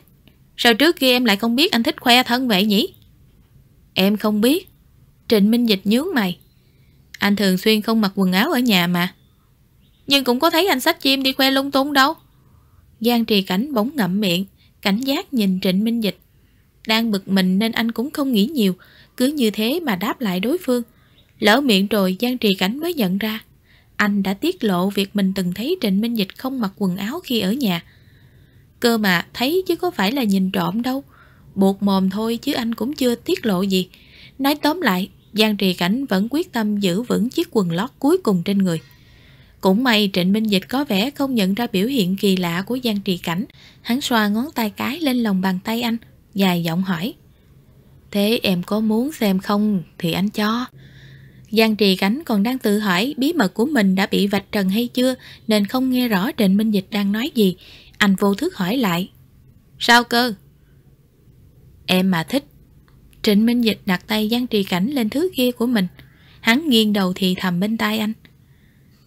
Thì lúc nào anh cũng cho xem hết. Lòng bàn tay đè lên chỗ nhấp nhô hùng vĩ, lớp vải mỏng dính không cản được nhiệt độ bỏng rát như bàn là. Dù trước đó Giang Trì Cảnh đã từng ngồi lên trên thứ này, nhưng cảm giác chạm vào bằng mông hoàn toàn không thể trực quan như lúc sờ bằng tay.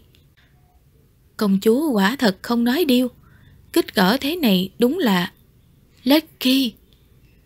Bàn tay to khỏe của ai kia nhấn mu bàn tay Giang Trì Cảnh xuống.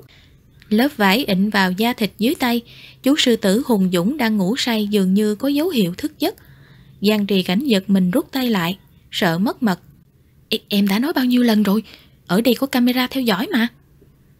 Trịnh Minh Dịch nghiêng người về phía Giang Trì Cảnh, Hắn đặt tay trái lên bàn rồi lười nhát chống một bên mặt nhìn Giang Trì Cảnh. Anh che rồi. Camera thật sự bị bóng dáng của Trịnh Minh Dịch che khuất. Giang Trì Cảnh nhìn sang chỉ thấy nửa thân trên của Trịnh Minh Dịch vẫn lịch thiệp vô cùng. Trông chẳng khác gì một quý công tử đang lười nhát, thưởng thức trận đua ngựa. Thế nhưng đôi chân bên dưới của hắn lại đang dang rộng quyến rũ, tựa như vũ nam thoát y, trông cực kỳ quyến rũ. Giang trì cảnh quả nhiên không thể kìm lòng trước hình ảnh đối lập này. Lòng anh đang ngây ngấy không yên, đầu ngón tay khẽ run rẩy. Cũng may sợi dây lý trí còn giữ lại, bằng không anh đã lột quần Trịnh Minh Dịch ra luôn rồi. Cảnh sát Giang Trịnh Minh Dịch dường như đã nhìn thấu những suy nghĩ xấu xa trong Giang trì cảnh. Hắn thốt ra lời mời gọi tựa ác ma. Em có đang đói không? Giang trì cảnh nào phải loại ngây thơ chưa từng trải sự đời nên nghe Trịnh Minh Dịch nói như thế, anh cũng hiểu hắn đang muốn ám chỉ điều gì. Trái cổ Giang trì cảnh rung rung, anh đè ép con quỷ đói khát trong lòng xuống, bình tĩnh nặng ra hai chữ. Không đói. Thật à? Trịnh Minh Dịch ngẩng đầu lên, bàn tay đang chống một bên mặt chuyển xuống đỡ cầm. Ăn bên đây đảm bảo no căng nha. Nhìn dáng vẻ treo ngươi ấy, Giang Trì Cảnh bỗng nhận ra bản chất của tên ác ma này. Hắn biết đang ban ngày ban mặt Giang Trì Cảnh sẽ không dám làm chuyện bậy bạ, nhưng vẫn thích trêu đùa anh như thế. Cốt là để ngắm nhìn dáng vẻ điên cuồng trên bờ vực đánh rơi lý trí của anh. Trịnh Minh Dịch Giang Trì Cảnh kéo cổ áo người nọ, dí khuôn mặt hắn lại gần mình. Hôm nào không quyến rũ em là hôm đó anh ngứa ngáy trong người hả? Trịnh Minh Dịch cười, ung dung đáp. Bị em phát hiện rồi. Vừa dứt lời, hắn lại chồm người về phía trước, định bụng hôn Giang Trì Cảnh, nhưng lại bị anh giơ tay chặn môi lại. Giang Trì Cảnh quay mặt qua nhìn màn hình vi tính. Nói vụ phát hiện em mới nhớ, hình như Vu Quan nhận ra em không phải là Go rồi. Bầu không khí mập mờ vụt tan trong chớp mắt khi nhắc đến người ngoài, Trịnh Minh Dịch nhếch mày, tỏ vẻ hơi bất mãn. Thế nhưng Giang Trì Cảnh vẫn hờ hững. Anh tiếp tục bảo. Anh không định nói thân phận của mình cho nó biết à?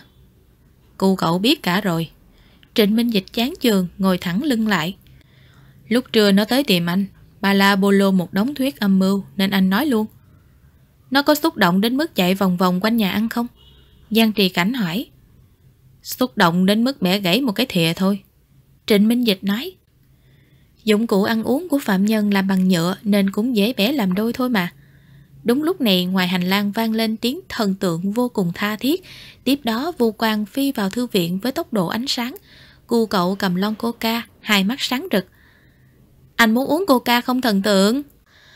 Có lẽ do lúc trước vô quang nhận thấy cảm giác mà Giang Trì Cảnh mang lại cho nó chưa được chuẩn xác cho lắm, nên biểu hiện sùng bái cũng có hơi kiềm chế. Còn bây giờ Gô Thần đã thật sự lộ nguyên hình, cu cậu liền buông xóa hết nấc. Lạc Hải theo chân vô quan vào thư viện, bất lực hỏi. Tóm lại các cậu là đang làm cái trò gì vậy? Giờ Lạc Hải đã chắc mười mươi chuyện vu quan có liên quan đến vụ án của Trình Minh Dịch nên cũng không cấm cản thằng bé đi tới thư viện nữa. Chẳng thế mà vô quan ra sức tận hưởng tự do, bừng bừng nhiệt huyết chạy sang đây. Giang Trì Cảnh biết mình không cần giấu Lạc Hải nữa nên anh hất cầm về phía Trịnh Minh Dịch. Nói ngắn gọn thì anh ấy là gô thần mà vô quan hay nhắc. Trịnh Minh Dịch vẫy tay ra chiều làm quen với Lạc Hải bằng thân phận gô thần. Ồ, vậy ra đại thần của giới chơi chứng khoán lại bị người ta hãm hại đến mức phải vô tù cũng vì chơi chứng khoán. Trong khi Lạc Hải vẫn còn cố bắt kịp thông tin thì vua quan ở bên đây đã hăng hái dâng lon coca lên cho Trịnh Minh Dịch. Chuyện hồi trưa thần tượng giao phó em đã điều tra xong rồi. Hàng tường đúng là định bán khống cổ phiếu đồng hồ lão chung. Tra bằng máy tính của tôi đấy. Mặt mũi Lạc Hải như đưa đám. Đồng hồ lão chung. Giang trì cảnh đưa cổ tay ra.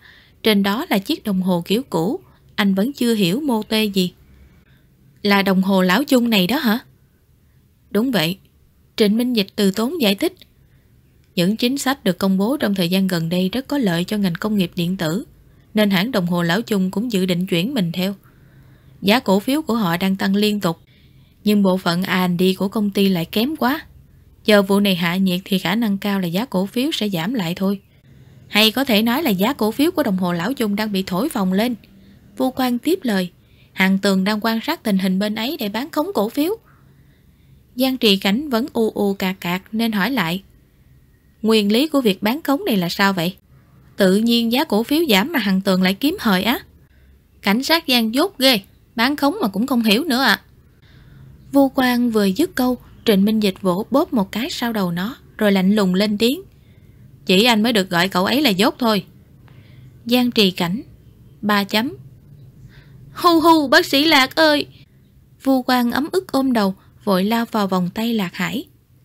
Thôi không đau nào. Lạc Hải xoa đầu Vu Quang, quăng một cái nhìn đầy bất mãn cho Trịnh Minh Dịch. Đừng có động tay động chân coi.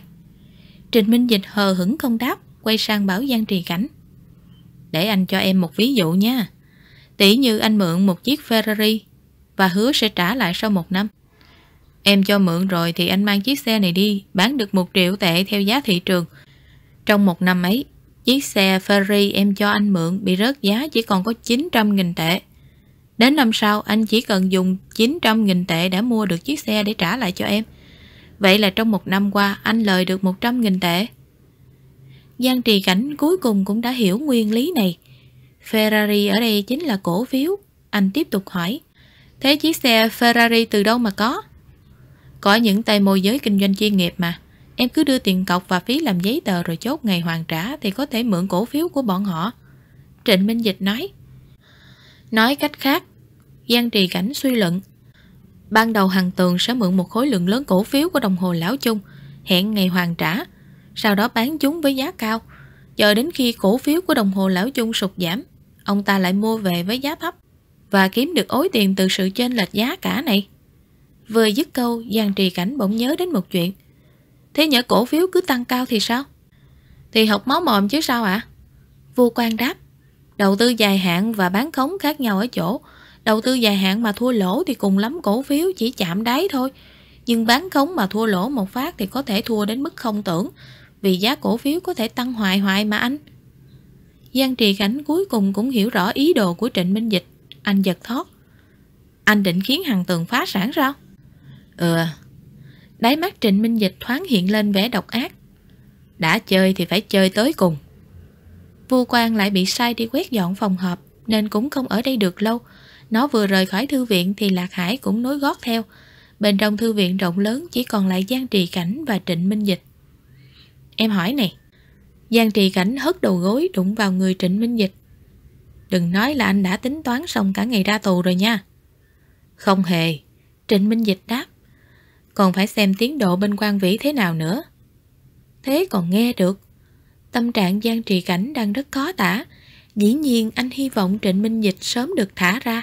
Nhưng nếu ngay cả chuyện ra tù mà Trịnh Minh Dịch cũng đã tính toán xong từ sớm, chắc anh sẽ bị đả kích đến mức chẳng còn thiết tha gì với cuộc đời này nữa. Anh cũng muốn hỏi em chuyện này. Trịnh Minh Dịch nghiêng đầu, biến nhát nhìn Giang Trì Cảnh. Anh mà ra tù rồi thì có mặc đồng phục cho anh ngắm không? Giang Trì Cảnh chỉ mặc đồng phục khi đi làm, nếu mặc đồng phục lúc khác cho Trịnh Minh Dịch xem thì cũng tương đương với việc người nọ lén mặc âu phục cho riêng mình anh xem. Hai người ăn mặc như thế thì chỉ có thể gặp nhau ở một nơi duy nhất, ấy là trên giường. Mặc chứ, Giang Trì Cảnh từng làm việc ở tòa án nên cũng biết tái xét xử một vụ án sẽ mất khá nhiều thời gian. Nhớ tới việc Trịnh Minh Dịch cứ hơi tí là chọc mình nổi điên, Giang Trì Cảnh cũng muốn cho đối phương biết thế nào là lễ độ, nên thoải mái buông lời hứa hẹn. Dùi cui, còng tay, em mang về nhà hết đấy, muốn chơi thế nào thì tùy anh. Trịnh Minh Dịch vẫn nghiêng đầu, nhưng mắt hắn lại ánh lên vệt sáng xanh như sói đói. Em sẽ ăn anh đúng không? Trịnh Minh Dịch hỏi. Ăn cho thật ngon lành tích chí ấy. Ăn chứ. Giang trì cảnh khoanh tay trước ngực, đáp lại một cách bàng quan. Chẳng phải anh bảo muốn cho em ăn no căng bụng sao? Rất chi là sẵn lòng nha. Trịnh Minh Dịch nhìn Giang trì cảnh đâm đâm, cơ cắn hai bên má lộ rõ, chứng tỏ hắn đang nghiến chặt hàm răng, cố kiềm chế bản thân. Một lúc sau, Trịnh Minh Dịch mới thả lỏng gương mặt, hắn nhìn Giang trì cảnh đầy vẻ ý nhị. Nói thì phải giữ lời đấy, cảnh sát Giang. Trông thấy ánh mắt của người nọ, Giang trì cảnh bỗng thấy sống lưng tê rần như có điềm chẳng lành. Chẳng lẽ cái tên này bảo chưa tính toán xong thời gian ra tù là đang lừa mình hay sao? Hết chương 44 Chương 45 Thứ sáu tuần này, các bản tin kinh tế đều đồng loạt cập nhật tin tức gây chấn động. Cô bồ nhí của Chủ tịch Công ty Khoa học Công nghệ XX biển thủ công quỹ và chuẩn bị trốn ra nước ngoài, nhưng đã bị cảnh sát tóm được ngay lối đi vào sân bay. Chủ tịch công ty cho biết bản thân không hề liên quan đến chuyện này, nhưng để xoa dịu dư luận đang phẫn nộ, ông đã quyết định nhận sai và xin từ chức. Giang trì cảnh đọc xong bản tin thì đóng trang web lại, anh nhìn người đang ngồi bên cạnh. Ban nãy quan Vĩ tìm anh là vì chuyện này à? Vụ hỏa hoạn đã xảy ra được một tuần, Tên đàn em của lão cửu nhận hết tội về mình nên đã bị chuyển đến nhà tù khác. Lão cửu thì được thả ra khỏi phòng biệt giam. Nhà tù phía Nam cũng hủy lệnh giới nghiêm cho phép phạm nhân được gửi nhận thư từ và gặp thân nhân. Hay tin này, Quang Vĩ lập tức tới nhà tù để xin gặp Trịnh Minh Dịch. Cũng bởi thế nên trưa nay Trịnh Minh Dịch đến thư viện trễ hơn bình thường. Hiệu suất làm việc của anh ta nhanh đấy chứ. Mới có mấy ngày đã tra ra được. Trịnh Minh Dịch nói. Tên chủ tịch kia không thoát nổi đâu. Sớm muộn gì cũng sẽ bị bắt. Giang Trì Cảnh thoáng suy tư rồi gật đầu. Sau đó cổ phiếu của công ty sẽ lao dốc không phanh đúng không? Trịnh Minh Dịch quay sang nhìn, bàn tay hắn vừa nâng lên đã bị Giang Trì Cảnh phẩy ngược trở lại. Không được nận mặt em. Giang Trì Cảnh nghiêm giọng. Anh biết tổng chiêu bài của cái tên Trịnh Minh Dịch này rồi, cứ hễ muốn khen ngợi hay dỗ dành anh là hắn lại nựng mặt. Nhưng thú thật khi ở chỗ làm, Giang Trì Cảnh không muốn đôi bên gần gũi nhau quá. Trịnh Minh Dịch chán nản rút tay lại, vuốt cầm đáp. Lao dốc là cái chắc, em xem tình hình cổ phiếu bên ấy ra sao rồi. Giang Trì Cảnh gõ tên công ty lên phần mềm giao dịch chứng khoán, nút Enter vừa chạm, bản đồ hình nến hiện lên một cột xanh thật dài, thông tin bên cạnh cho biết cổ phiếu hiện đã giảm đến mức ngừng giao dịch. Giảm hơn 10% sẽ chạm mốc ngừng giao dịch.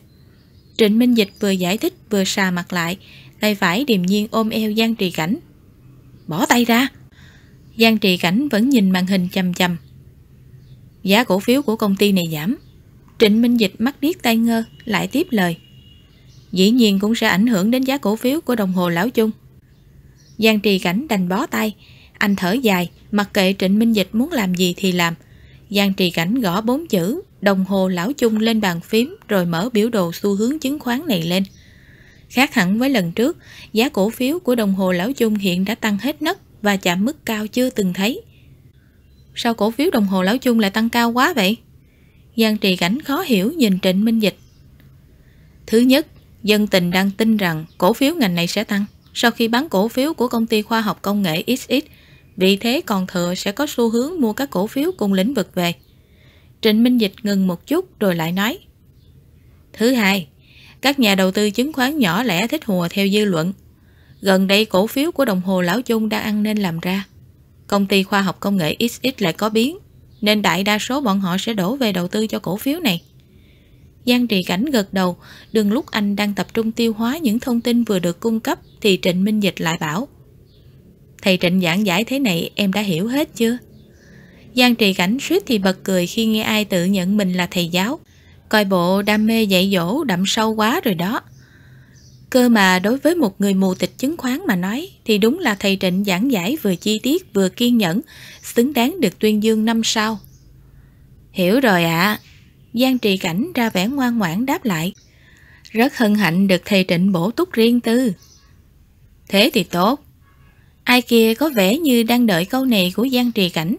Hắn đường đường chính chính giơ tay trái ra. Đóng học phí đi. Giang Trì Cảnh cũng không ngờ Trịnh Minh Dịch lại dở chiêu này với mình. Anh nhăn mặt. Học phí gì? Một quả dâu tay nhé. Vừa dứt câu, Trịnh Minh Dịch liền sáp lại gần cổ Giang Trì Cảnh. Nhưng đúng lúc này, điện thoại nội bộ trên bàn vang lên, làm gián đoạn công cuộc đánh lén của hắn. Đàng hoàng lại cho em. Giang Trì Cảnh cau mày đẩy Trịnh Minh Dịch rồi nhấc máy lên nghe. Ra là trưởng ngục gọi điện tới. Trưởng ngục cũng mua cổ phiếu của đồng hồ Lão Chung. Hiện cổ phiếu đã tăng đến mức chưa từng có nên trưởng ngục cũng hơi ngứa tay.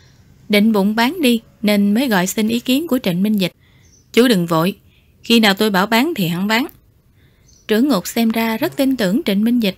Nghe hắn phán chắc nịch như thế, ông lập tức đồng ý mà không cần hỏi thêm lý do.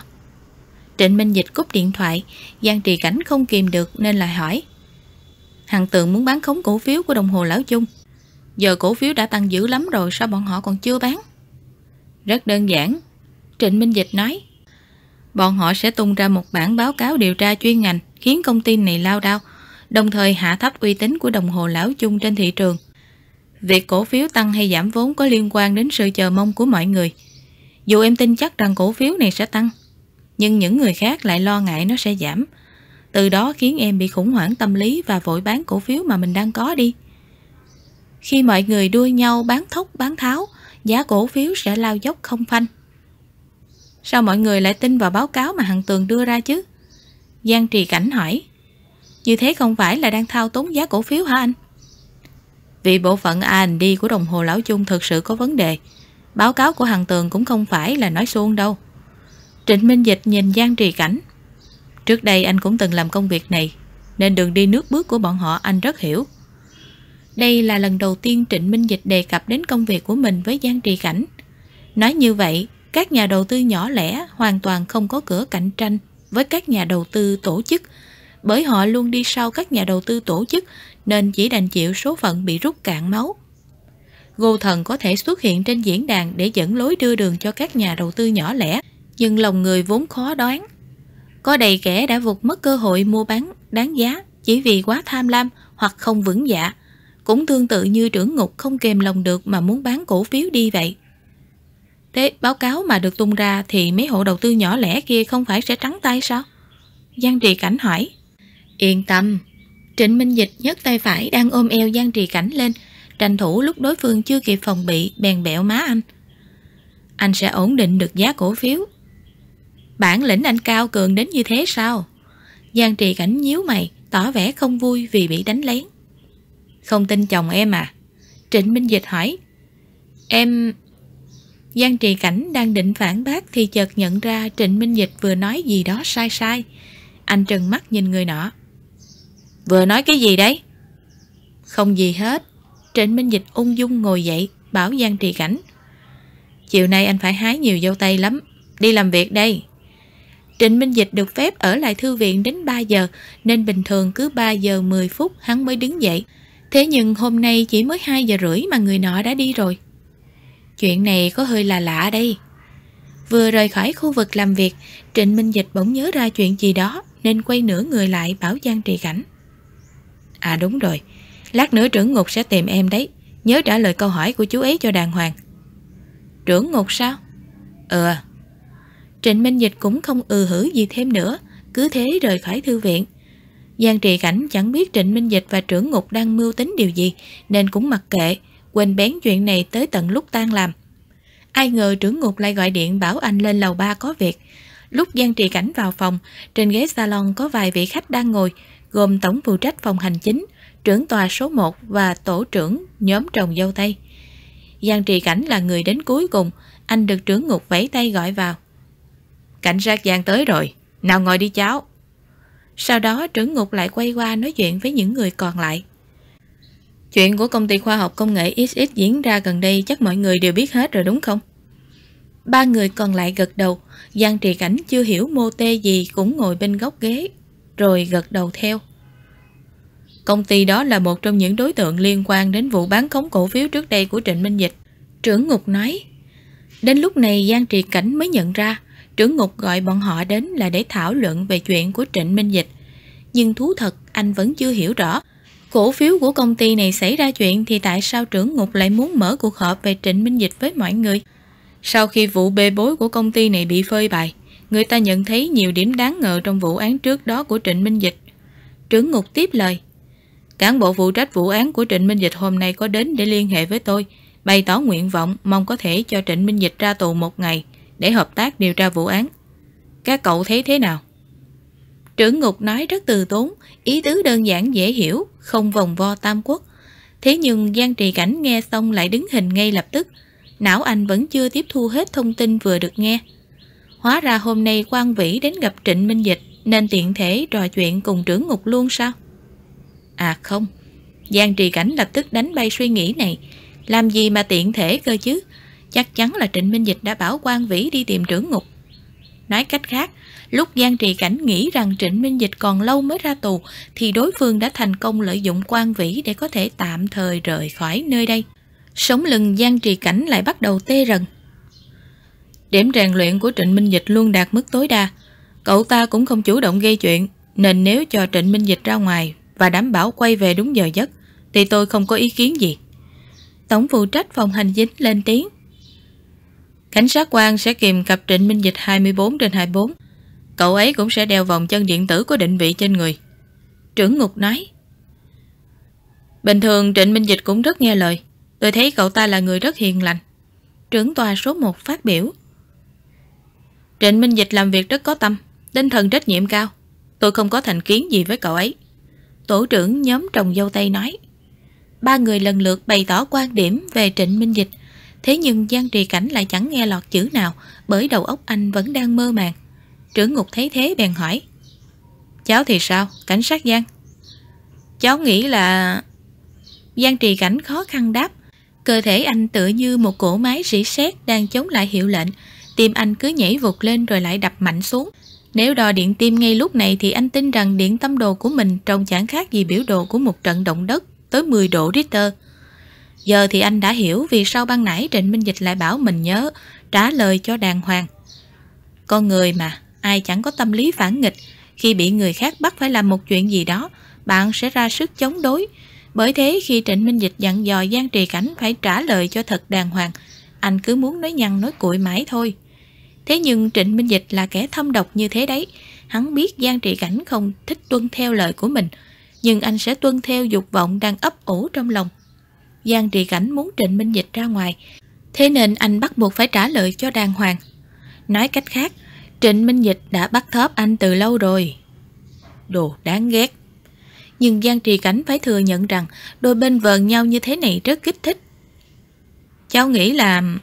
Giang Trì Cảnh hắn giọng, cất tiếng lại lần nữa. cháu đồng ý với việc để anh ta đi ra ngoài. Hôm nay là thứ sáu, bình thường Giang Trì Cảnh đã tan làm từ rất sớm, nhưng cuộc họp hôm nay kéo dài đến 6 giờ tối.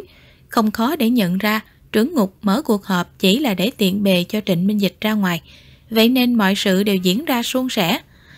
Trịnh Minh Dịch sẽ ra tù tạm thời từ 8 giờ sáng thứ Bảy đến 8 giờ sáng Chủ nhật. Trong 24 giờ đó, Hoàng Vĩ sẽ luôn theo sát Trịnh Minh Dịch, đồng thời y cũng sẽ là người đưa Trịnh Minh Dịch quay lại nhà tù trước mốc thời gian quy định. Sau khi rời khỏi văn phòng trưởng ngục, Giang Trì Cảnh lái xe thẳng về nhà. Cả tối đầu óc anh vẫn trong trạng thái lơ tơ mơ, lòng nôn nao chẳng yên. Hoàng Vĩ để Trịnh Minh Dịch ra ngoài là để điều tra vụ án, thế nên y sẽ luôn đi theo Trịnh Minh Dịch. Vậy... Trịnh Minh Dịch sẽ về đây để xem nhà hắn sau vụ hỏa hoạn trông ra sao chứ? Hắn có thể ghé lại nhà ăn tối không? Điều tra xong rồi, hắn có thể ngủ lại nhà anh một đêm chăng? Giờ anh có nên chuyển giường về lại vị trí giữa phòng không nhỉ? Hàng loạt suy nghĩ vẫn vơ bật lên trong đầu Giang Trì Cảnh. Hai mắt anh vẫn sáng trưng cho đến tận 3 giờ sáng. Không được nghĩ nữa. Giang Trì Cảnh cố thôi miên bản thân rằng Trịnh Minh Dịch ra ngoài chỉ để đi điều tra vụ án. Hắn rời khỏi nhà tù rồi sẽ đi thẳng vào thành phố. Việc gì anh phải bận tâm xem người nọ có đến tìm mình hay không chứ? Ấy thế là chưa kể quan vĩ cứ tò tò đi theo, Trịnh Minh Dịch không đời nào đến chỗ anh được. Đúng vậy, không đời nào. Cứ thôi miên bản thân như thế, Giang Trì Cảnh dần dần chìm vào giấc ngủ. Chẳng biết đã chợp mắt được bao lâu, anh bừng tỉnh vì tiếng chuông cửa đang reo. Đêm qua vốn đã ngủ chưa đã giấc, sáng nay lại bị đánh thức bất chợt nên Giang Trì Cảnh rất bực mình. Anh quạo quọ bật dậy, vén rèm nhìn ra cửa. Có ngờ đâu cơn ngái ngủ lập tức bay biến. Sáng thứ bảy, trời trong lành rực rỡ, nắng long lanh êm dịu, khu dân cư yên tĩnh không một bóng người. Chỉ có tiếng chim ca líu lót từ nơi xa xa truyền đến, nhắn nhủ với Giang Trì Cảnh rằng cảnh tượng trước mắt anh nào phải cơn mơ. Bóng dáng quen thuộc đang đứng bên ngoài hàng rào sắt, người ấy mặc áo sơ mi trắng, đeo cà vạt được thắt cẩn thận, áo vest vắt hờ trên khuỷu tay trái. Hắn giơ tay phải vẫy gọi Giang Trì Cảnh. Chào buổi sáng, cảnh sát Giang. Trịnh Minh Dịch nói. Hết chương 45 Chương 46 Giang Trì Cảnh vẫn luôn sống một mình kể từ khi bắt đầu chuyển ra ngoại ô. Thì thoảng cuối tuần anh vẫn về nhà quay quần cùng gia đình. Nhưng riêng căn biệt thự mini của anh thì vẫn chẳng có ai lui tới. Thế mà giờ đây, vào ngày sáng thứ bảy lại có một kẻ đột nhập vào nhà anh, còn ngang nhiên ngồi dùng bữa sáng cùng anh. Thêm mức dâu nhé. Trịnh Minh Dịch đẩy lọ mứt dâu qua cho Giang Trì Cảnh, như thể hắn mới là chủ nhà đích thực. Thôi ạ. Giang Trì Cảnh cấm đầu cấm cổ gặm miếng bánh sandwich, tay chân khép nép, mắt mũi cũng chẳng dám nhìn thẳng Trịnh Minh Dịch. Hôm nọ anh đã nói gì nhỉ? Ăn chứ, ăn ngon lành thích chí, rất chi là sẵn lòng luôn. Giang trì cảnh mà biết Trịnh Minh Dịch sớm ra tù như vậy thì đời nào anh dám hứa hẹn cùng đối phương như thế. Em ăn no chưa? Trịnh Minh Dịch đột nhiên hỏi. Giang trì cảnh suýt thì nghẹn miếng bánh trong họng, anh đấm đấm ngực, vội cầm ly sữa trong tay hớp một hơi rồi hỏi. Gì cơ? Có hai miếng bánh sandwich thôi, Trịnh Minh Dịch nói. Em ăn thế đủ no không?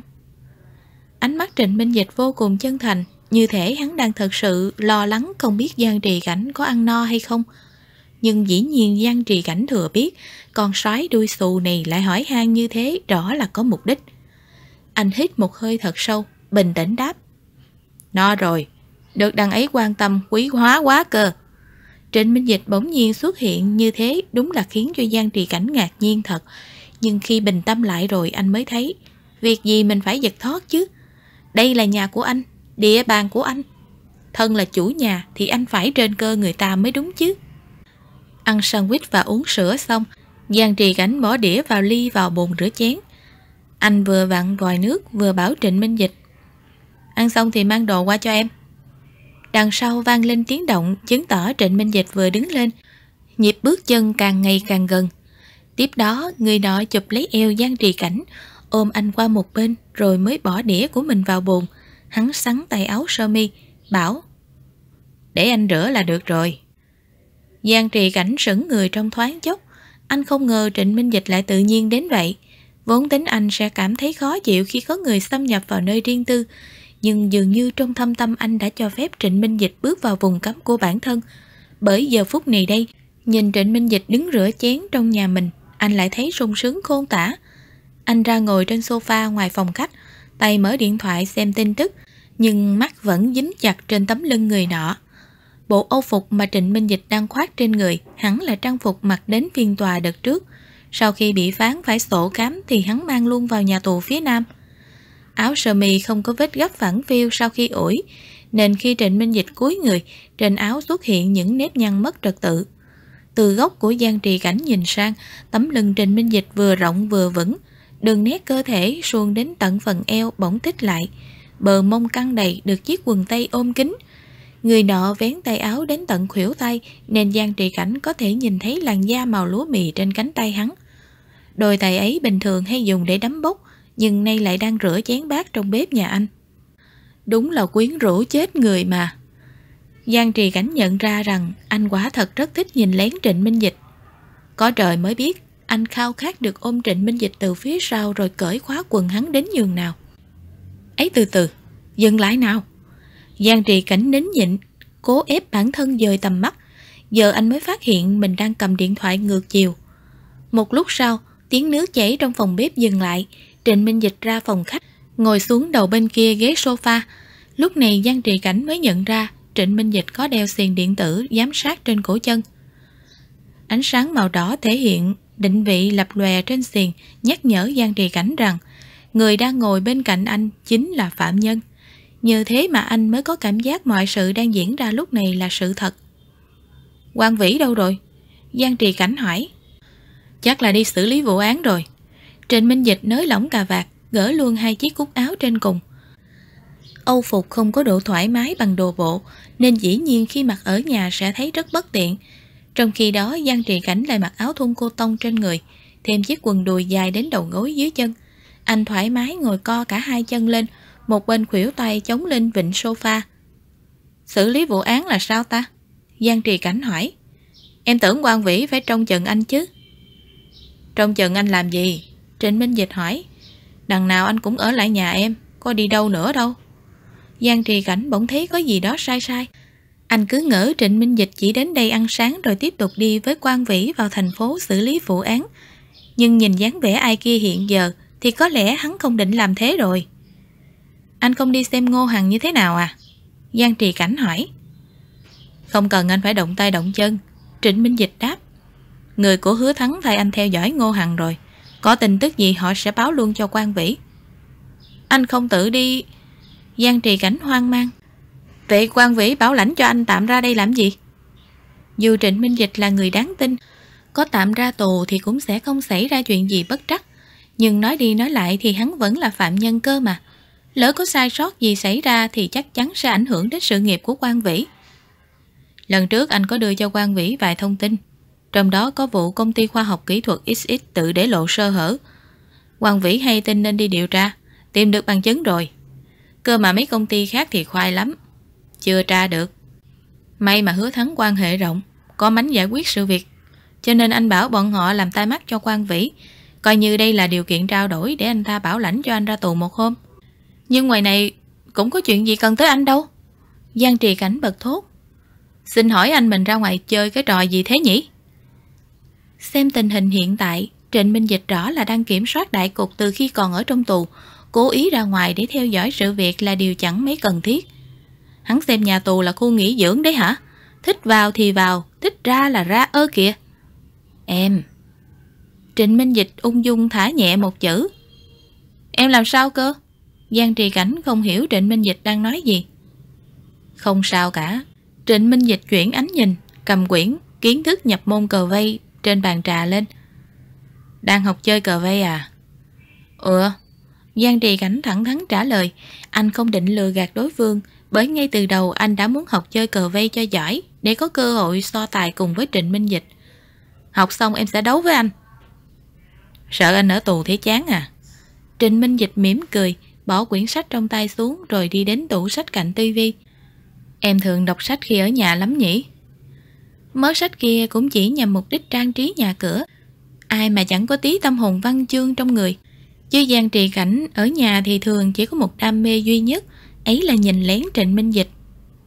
Tất nhiên rồi, đọc sách nhiều giúp hung đúc cảm xúc đó. Giang Trì Cảnh nghiêm túc nói. Trịnh Minh Dịch gật đầu, bước tới gần cầu thang. Anh lên lầu ngó chút được không?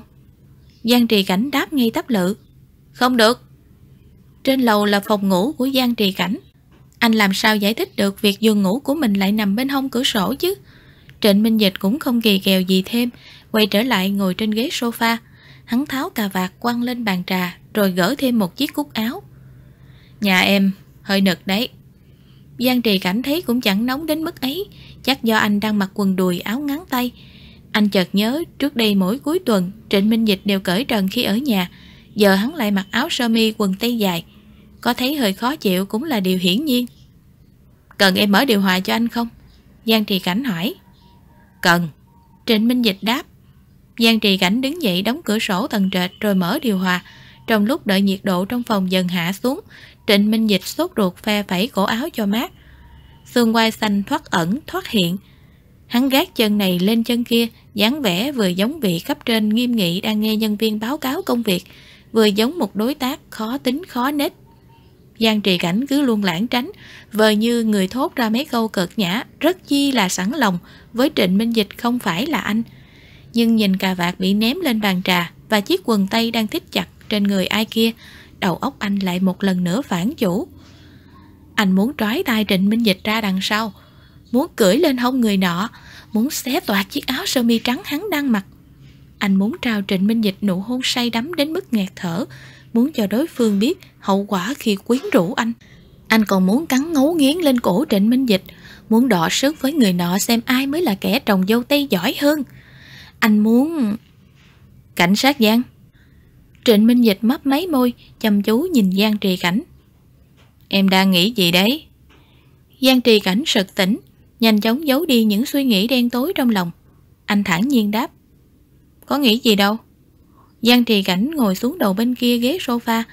Anh tháo dép, gác cẳng chân vắt ngang ghế, đầu ngón chân chẳng biết là cố tình hay là vô ý mà cứ mơn mang trên quần người nọ. Trịnh Minh Dịch rủ mắt nhìn bàn chân nõn nà của ai kia, rồi ngó sang gương mặt đang tỉnh như không của Giang Trì Cảnh. Hắn nhướng mày hỏi, cần anh tránh chỗ cho em không? Giang Trì Cảnh vờ vịt hỏi lại, tránh gì cơ? Giang Trì Cảnh biết Trịnh Minh Dịch đang cùng anh chơi trò lạc mềm buộc chặt. Ban đầu anh cứ luôn lãng tránh và kiềm chế, cố không để những suy nghĩ đen tối trong mình trào dâng, thế nên anh cũng không nhận ra bầu không khí ái muội.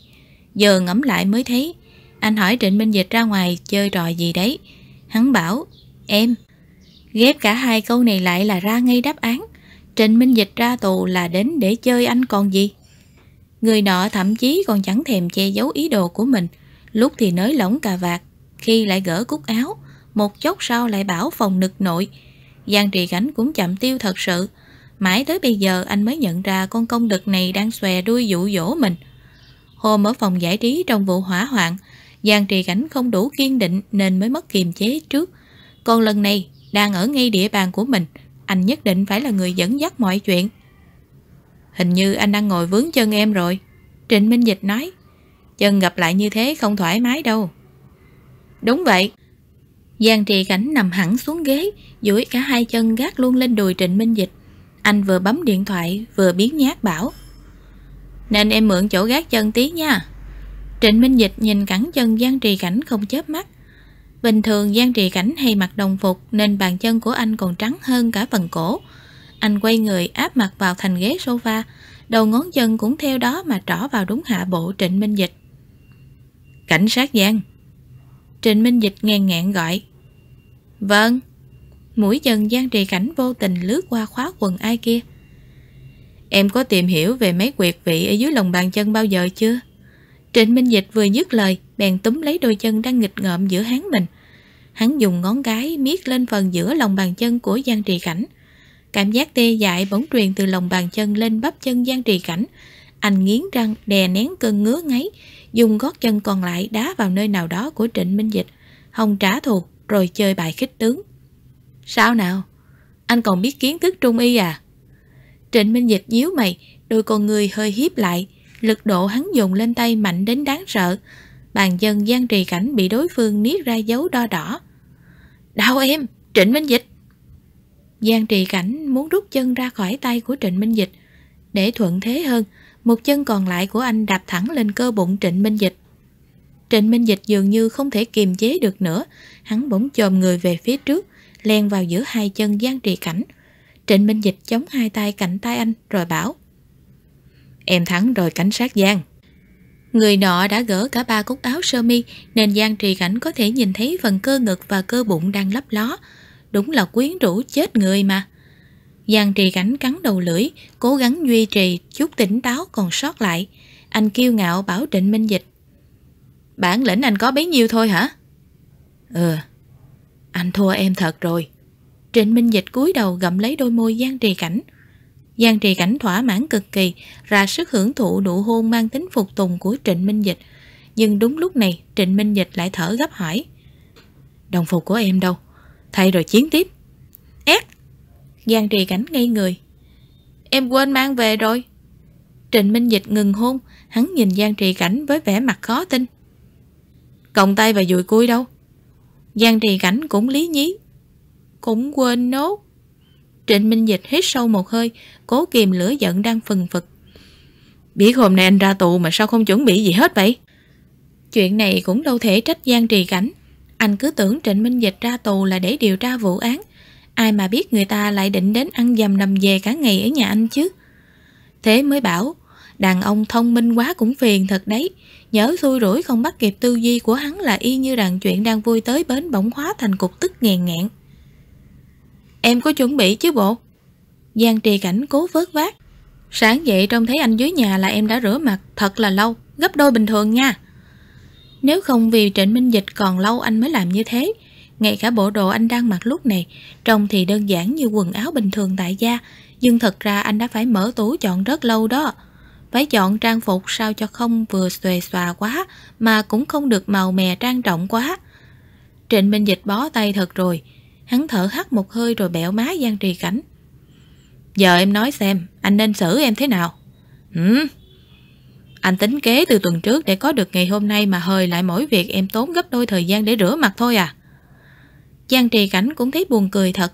Trịnh Minh Dịch tính toán giỏi đến tính được cả thời gian mình ra tù, nhưng cuối cùng vẫn phải chào thua màn kém tinh ý của anh. Thôi đừng giận em mà. Giang Trì Cảnh bám cổ áo Trịnh Minh Dịch, kẹp hai chân lên eo hắn, mượn sức người nọ ngồi dậy. Trịnh Minh Dịch thuận thế đỡ mông Giang Trì Cảnh rồi đứng lên. Thế là ai kia cao hơn hắn cả nửa cái đầu, Giang Trì Cảnh không biết phải dỗ dành người ta như thế nào cho phải. Anh túm phần tóc sau gáy Trịnh Minh Dịch, bắt đối phương phải ngửa mặt lên. Giang Trì Cảnh rủ mắt nhìn người nọ. Chỉ có 24 giờ thôi đấy, anh thật sự định lãng phí thời gian cho việc giận em đó hả? Còn 23 tiếng thôi. Trịnh Minh Dịch liếc nhìn đồng hồ, nhanh chóng xé toạc lớp mặt nạ cuối cùng. Hắn hung tợn nhìn Giang Trì Cảnh. Không thể lãng phí, dù chỉ là một giây. Hết chương 46 Chương 47 Yến mạch được đổ vào sữa bò, trộn lẫn trộn đến mức sắc trắng của sữa trở nên rối tung rối mù. Mức dâu cũng hăng hái nhập cuộc, nhưng không thể hòa quyện thành một như sữa bò và yến mạch, nên đành nhuộm hồng lên sữa bò sữa bò nhuộm sắc đo đỏ, bị yến mạch ngang ngạnh chiếm đoạt, mãi cho đến khi từ đầu đến chân sữa bò chỉ toàn là hương vị của yến mạch. Giang trì cảnh nằm trên ngực trịnh minh dịch thở nhẹ, cả hai đã lên đỉnh từ lâu, nhưng vẫn cứ nằm hỗn hển như thế. Dường như màn điên cuồng ban nãy đã đốt cháy hết thảy sức lực của đôi bên. Mệt không em? Trịnh Minh Dịch vuốt ve tấm lưng mướt mồ hôi của Giang Trì Cảnh. Hắn chạm vào làn da ấy, chỉ thấy nóng rẫy và nhớp nháp. Giang Trì Cảnh biến nhát ầm một tiếng, xem ra đã cạn kiệt sinh lực đến mức không nói chuyện nổi. Mới chỉ hai tháng trước thôi, Giang Trì Cảnh còn tin chắc rằng những suy nghĩ đen tối trong mình sẽ không thể hiện thực hóa. Ấy thế mà gã đàn ông mà anh chỉ có thể ngắm nhìn từ xa, hóa ra còn máu lửa hơn anh rất nhiều. Hắn quyết tâm khai phá từng tấc da thịt trên người anh mới thỏa. Có lẽ do cả hai đã kìm nén quá lâu, nên phòng khách bị vần vò thành một đống hổ lốn. Cà vạt biến dạng, hóa thành một sợi dây thừng. Quyển kiến thức nhập môn cờ vây trên bàn đầy nếp gấp lộn xộn sau khi bị đè ép. Cũng nhờ ơn thầy Trịnh quyết tâm bắt cảnh sát Giang phải đọc sách cho mình nghe. Khổ nổi Giang Trì Cảnh còn chưa đọc hết một trang, đã không cầm cự nổi nữa, cứ thế nằm sóng xoài trên bàn trà. Tiếng điều hòa vận hành dần lấn át hơi thở dồn dập của cả hai.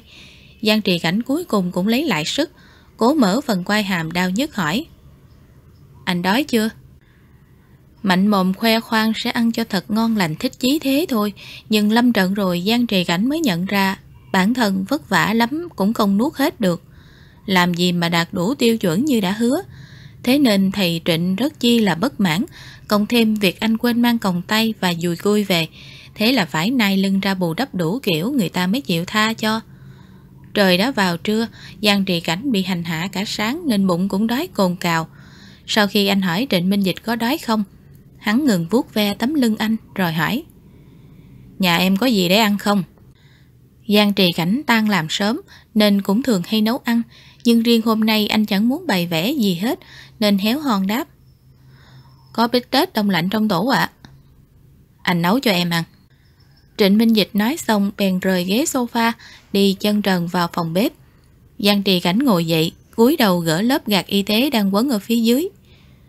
Bít Tết ở ngăn thứ hai của tủ đông đó anh. Ừ. Trịnh Minh Dịch mở tủ lạnh. Tạp về em để đâu thế? Ờ. Tim Giang Trì Cảnh nhảy dựng. Anh nhìn bóng lưng Trịnh Minh Dịch. Quả nhiên người nọ không thèm nhặt quần áo dưới đất lên. Anh lầm lầm ngó Trịnh Minh Dịch rồi tiếp lời trong ngăn kéo bên cạnh tủ lạnh ấy. Trịnh Minh Dịch lấy hai miếng bít tết ra, bỏ vào lò vi sóng để rã đông. Sau đó hắn mở ngăn kéo lấy tạp về, cứ thế trồng vào người. Trịnh Minh Dịch lúc thì quay lưng về phía Giang Trì Cảnh, lúc lại để lộ góc nghiêng mờ mờ ảo ảo. Hắn để trần cả người như thế trông đã quyến rũ lắm rồi. Thêm chiếc xiềng điện tử giám sát trên mắt cá chân lại khiến cảm giác ấy tăng lên bội phần. Trước đây lúc Trịnh Minh Dịch làm bít tết tại nhà, Ít ra còn mặc quần. Giờ đến nhà anh rồi, hắn lại thả rong từ đầu đến chân, Như đang mơi hàng mời Giang Trì Cảnh nhìn lén. Muốn chính mấy phần đây em? Trịnh Minh Dịch vẫn quay lưng lại, hỏi Giang Trì Cảnh Hai phần đi. Giang Trì Cảnh dán mắt vào hai cánh mông cong cong như quả đào mật, Trong đầu chỉ còn lại mỗi con số 2 Bởi quả đào mật trước mắt kia có hai khía. Hai phần sao? Trịnh Minh Dịch ngạc nhiên quay đầu. Bảy phần cơ. Giang trì cảnh nhanh chóng sửa lại. Cần em giúp không? Không cần đâu. Trịnh Minh Dịch quay lại vị trí cũ, dáng vẻ chú tâm làm bít tết ấy còn mê hoặc hơn cả mùi hương của miếng thịt. Áp chảo bít tết đông lạnh đúng là rất dễ, Nên không cần Giang trì cảnh phải giúp. Anh hỏi thế cốt là để kiếm gớ vào phòng bếp thôi.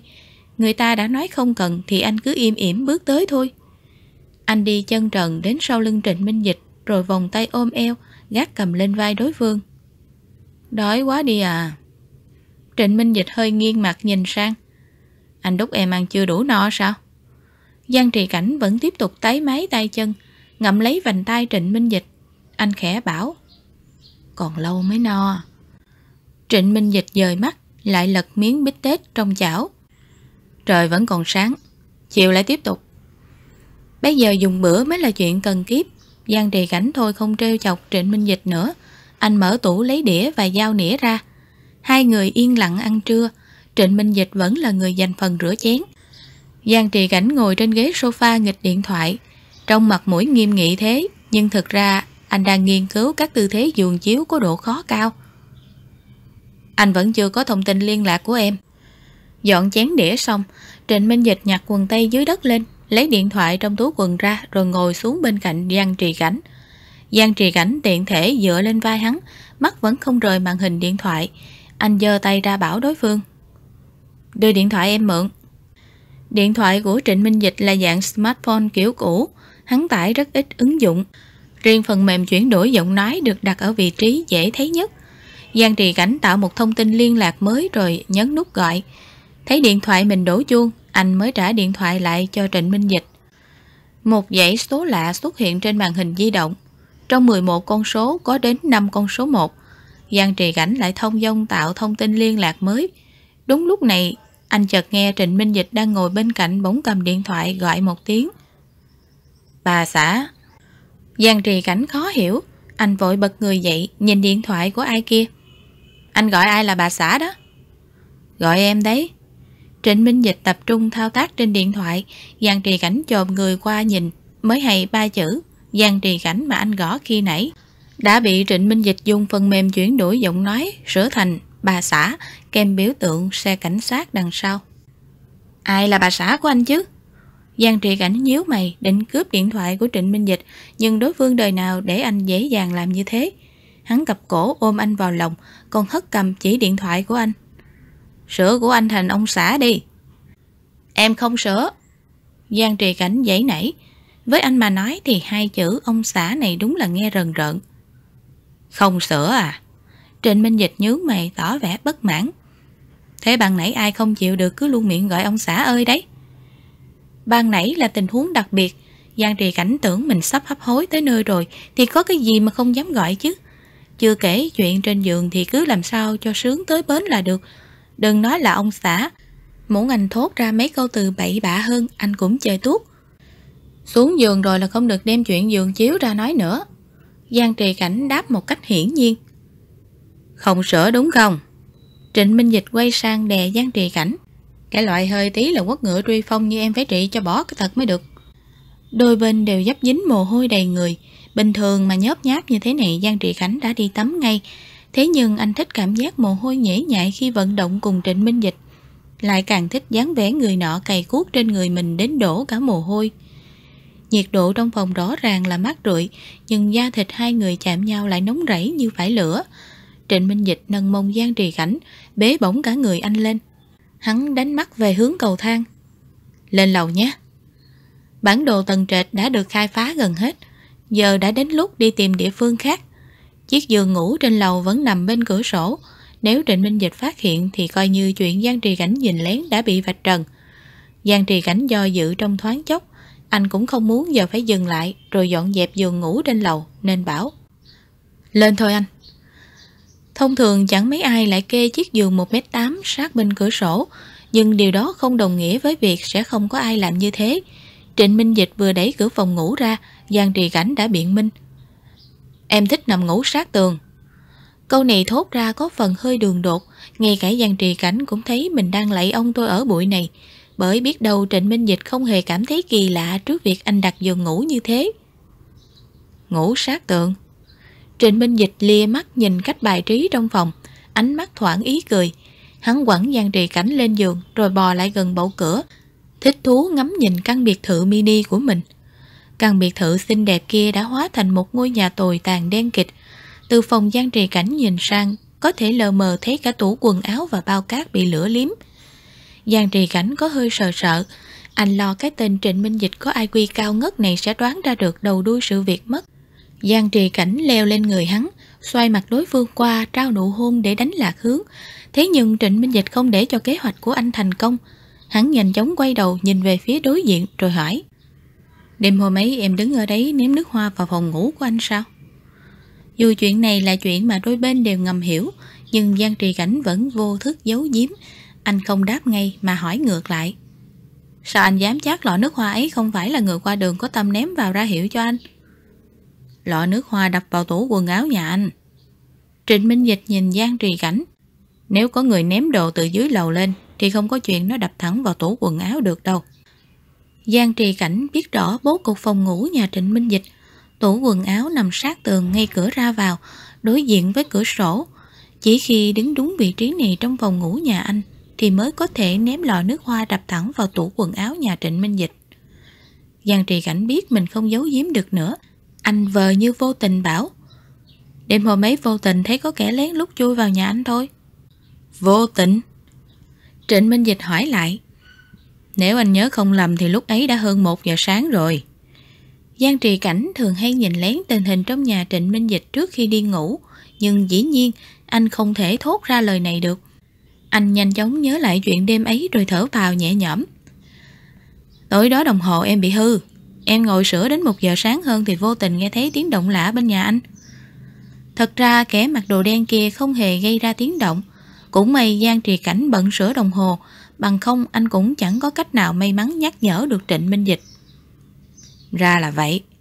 Trịnh Minh Dịch trầm ngâm một thoáng, hắn khẽ gật đầu rồi rời khỏi bầu cửa, chuyển sự chú ý lên người Giang Trì Cảnh.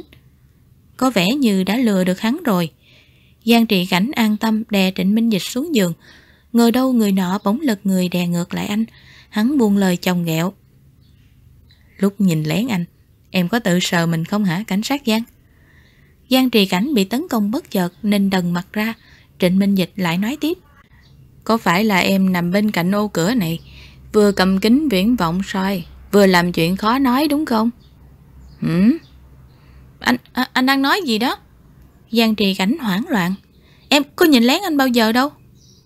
Tưởng anh không biết thật à? Trịnh Minh Dịch cười bảo. Đã nghiện mà còn ngại. Hửm? Đầu óc Giang Trì Cảnh trở nên đặc quánh. Cảm giác như mớ suy nghĩ đen tối trong đầu anh đang bị máy xúc đào lên hết thảy rồi trưng bày trước mặt Trịnh Minh Dịch. Em không có mà. Hai má Giang Trì Cảnh ửng hồng, bướng bỉnh phủ nhận. Chưa từng nhìn lén anh tập đấm bốc sao? Trịnh Minh Dịch hỏi.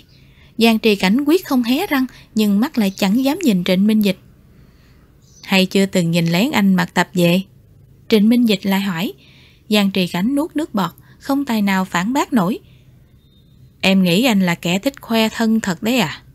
Trịnh Minh Dịch bật cười, gẫm bờ môi Giang Trì Cảnh. Khoe cho em xem thôi đấy, cảnh sát Giang. Giang Trì Cảnh choáng váng thật rồi, anh không biết mình bị vạch trần vì đâu, mà đến tận giờ phút này anh mới nhận ra Trịnh Minh Dịch thật sự đã lột sạch quần lót của anh, ngay cả nghĩa đen lẫn nghĩa bóng. Hết chương 47 Chương 48 Lần giao chiến thứ hai, Giang Trì Cảnh thua thảm hại. Anh không dám nhìn Trịnh Minh Dịch lẫn căn biệt thự phía đối diện, tay chân thì lúng ta lúng túng đến mức không dám chạm vào lưng người nọ. Rõ ràng vừa học 48 tư thế phòng the xong, nhưng giờ anh chẳng khác gì con rối gỗ, mặc cho Trịnh Minh Dịch trêu đùa. Trông thấy một Giang Trì Cảnh khác biệt như thế, Trịnh Minh Dịch lại vô cùng hào hứng. Theo như lời hắn nói thì sáng nay giao chiến, cảnh sát Giang còn cuồng dại tựa bé mèo hoang mà tới chiều lại hóa thành chú chim non chưa trải sự đời. Giang trị cảnh vô cùng không thích dáng vẻ này của bản thân, anh cũng muốn thi triển công phu giường chiếu, quyết chiến một trận cho ra trò với tên Trịnh Minh Dịch. Thế nhưng cứ nghĩ đến việc Trịnh Minh Dịch đã biết tổng việc mình nhìn lén hắn, anh lại nhục chí ngay tấp lự, cứ ngay ra đó mặc người ta thích làm gì thì làm. Vậy dưa một hồi chẳng khác gì đang chịu trận, Trịnh Minh Dịch cứ luôn miệng đùa dâm, khiến anh phát cáu vì vừa sướng lại vừa ngượng, chỉ thiếu nước năn nỉ người nọ làm ơn làm phước tha cho mình. Giang Giang Cày cuốc chán chê, Trịnh Minh Dịch bóp eo Giang Trì Cảnh một cái. Ai kia vẫn cứ úp mặt vào tường không thèm để ý tới hắn. Coi bộ sàn chấn tâm lý thật rồi. Giá mà Trịnh Minh Dịch không biết chuyện thì Giang Trì Cảnh còn sẵn lòng cả đời không đi nhìn lén ai nữa. Cảm giác hải hùng khi bị bắt quả tang nhìn lén ở phòng giải trí lần trước khiến tim gan Giang Trì Cảnh lộn mèo tới tận bây giờ. Chẳng thế mà rất lâu rồi anh không mở cái camera ấy lên xem. Quả báo đúng là không chừa một ai. Giang Trì Cảnh thầm nghĩ, Cao Xanh đang dạy cho anh biết, cứ làm việc sai trái rồi có ngày cũng bị ma quái đến tìm thôi. Sao làm lơ anh rồi? Trịnh Minh Dịch xoay người hôn lên tấm lưng Giang Trì Cảnh. Thôi không ghẹo em nữa. Con muốn biết vì sao anh phát hiện không? Đương nhiên là Giang Trì Cảnh muốn rồi, chỉ là anh đang không muốn nói chuyện với Trịnh Minh Dịch thôi. Anh tự thấy bản thân đóng kịch tốt lắm chứ bộ. Chẳng hiểu sao Trịnh Minh Dịch lại phát hiện ra được. Như vậy chỉ có một khả năng xảy ra. Ấy là Trịnh Minh Dịch cũng để ý anh. Bằng không làm sao hắn biết được anh đang nhìn lén chứ. Giang trì cảnh hơi ngọ ngoậy đầu, mặt không cảm xúc nhìn Trịnh Minh Dịch. ánh mắt như thay lời muốn nói. Tự khai báo đi. Trịnh Minh Dịch bật cười, hắn tròn tay lên eo Giang Trì Cảnh rồi lật người anh lại ôm vào lòng. Em chuyển đến đây tầm nửa năm trước đúng không? Giang Trì Cảnh ơ một tiếng rất chi là xa cách. Trước khi dọn nhà cần phải sửa sang mọi thứ, có tiếng động lớn như vậy diễn ra, dĩ nhiên Trịnh Minh Dịch phải biết mình có hàng xóm mới. Ban đầu anh cũng không để tâm lắm, vì xây dựng quan hệ sớm giềng gì đó, anh vốn không có hứng thú. Trịnh Minh Dịch nói, chuyện này Giang Trì Cảnh đương nhiên biết, Trịnh Minh Dịch trước giờ vẫn quen độc lai độc vãng, hắn chưa bao giờ có mặt trong các hoạt động mang tính cộng đồng. Giang Trì Cảnh thì ngược lại, dù anh không có hứng thú tham gia các hoạt động như thế, nhưng nếu nhân viên khu dân cư đã ngỏ lời, anh sẽ không từ chối. Mãi cho đến vài tháng trước, anh mới bắt đầu điều tra vụ Ngô Hằng thao túng giá cổ phiếu. Trịnh Minh Dịch nói tiếp. Cơ quan chức năng không điều tra ra kết quả, nhưng kể từ đó anh phát hiện có vẻ như Ngô Hằng đang cố tình chỉ mũi dùi vào anh. Xem ra hắn đã đoán được anh chính là người tiết lộ thông tin. Giang Trì Cảnh cuối cùng cũng chịu nói chuyện với Trịnh Minh Dịch. Anh hất cầm nhìn đối phương. Rồi sao nữa? Sau đó anh phát hiện có người đã đụng vào máy tính của mình. Thậm chí còn gắn cả máy nghe lén ở trong phòng làm việc của anh. Anh bắt đầu nâng cao cảnh giác với mọi thứ xung quanh. Ngay cả khi ở nhà cũng không dám lơi lỏng. Giang Trì Cảnh bỗng hiểu ra mọi chuyện. Cho nên anh... Anh phát hiện có ai đó ở căn nhà đối diện đang theo dõi anh. Trịnh Minh Dịch dùng từ theo dõi, chứng minh khi ấy hắn vẫn chưa thật sự rõ ý định của Giang Trì Cảnh. Trịnh Minh Dịch còn tưởng rằng anh là người của Ngô Hằng và đang nhận nhiệm vụ theo dõi hắn từ căn nhà phía đối diện. Giang Trì Cảnh cảm thấy hơi buồn cười. Em bận đi làm thì sao mà theo dõi anh được? Ban đầu anh cũng không biết em phải đi làm. Trịnh Minh Dịch nói.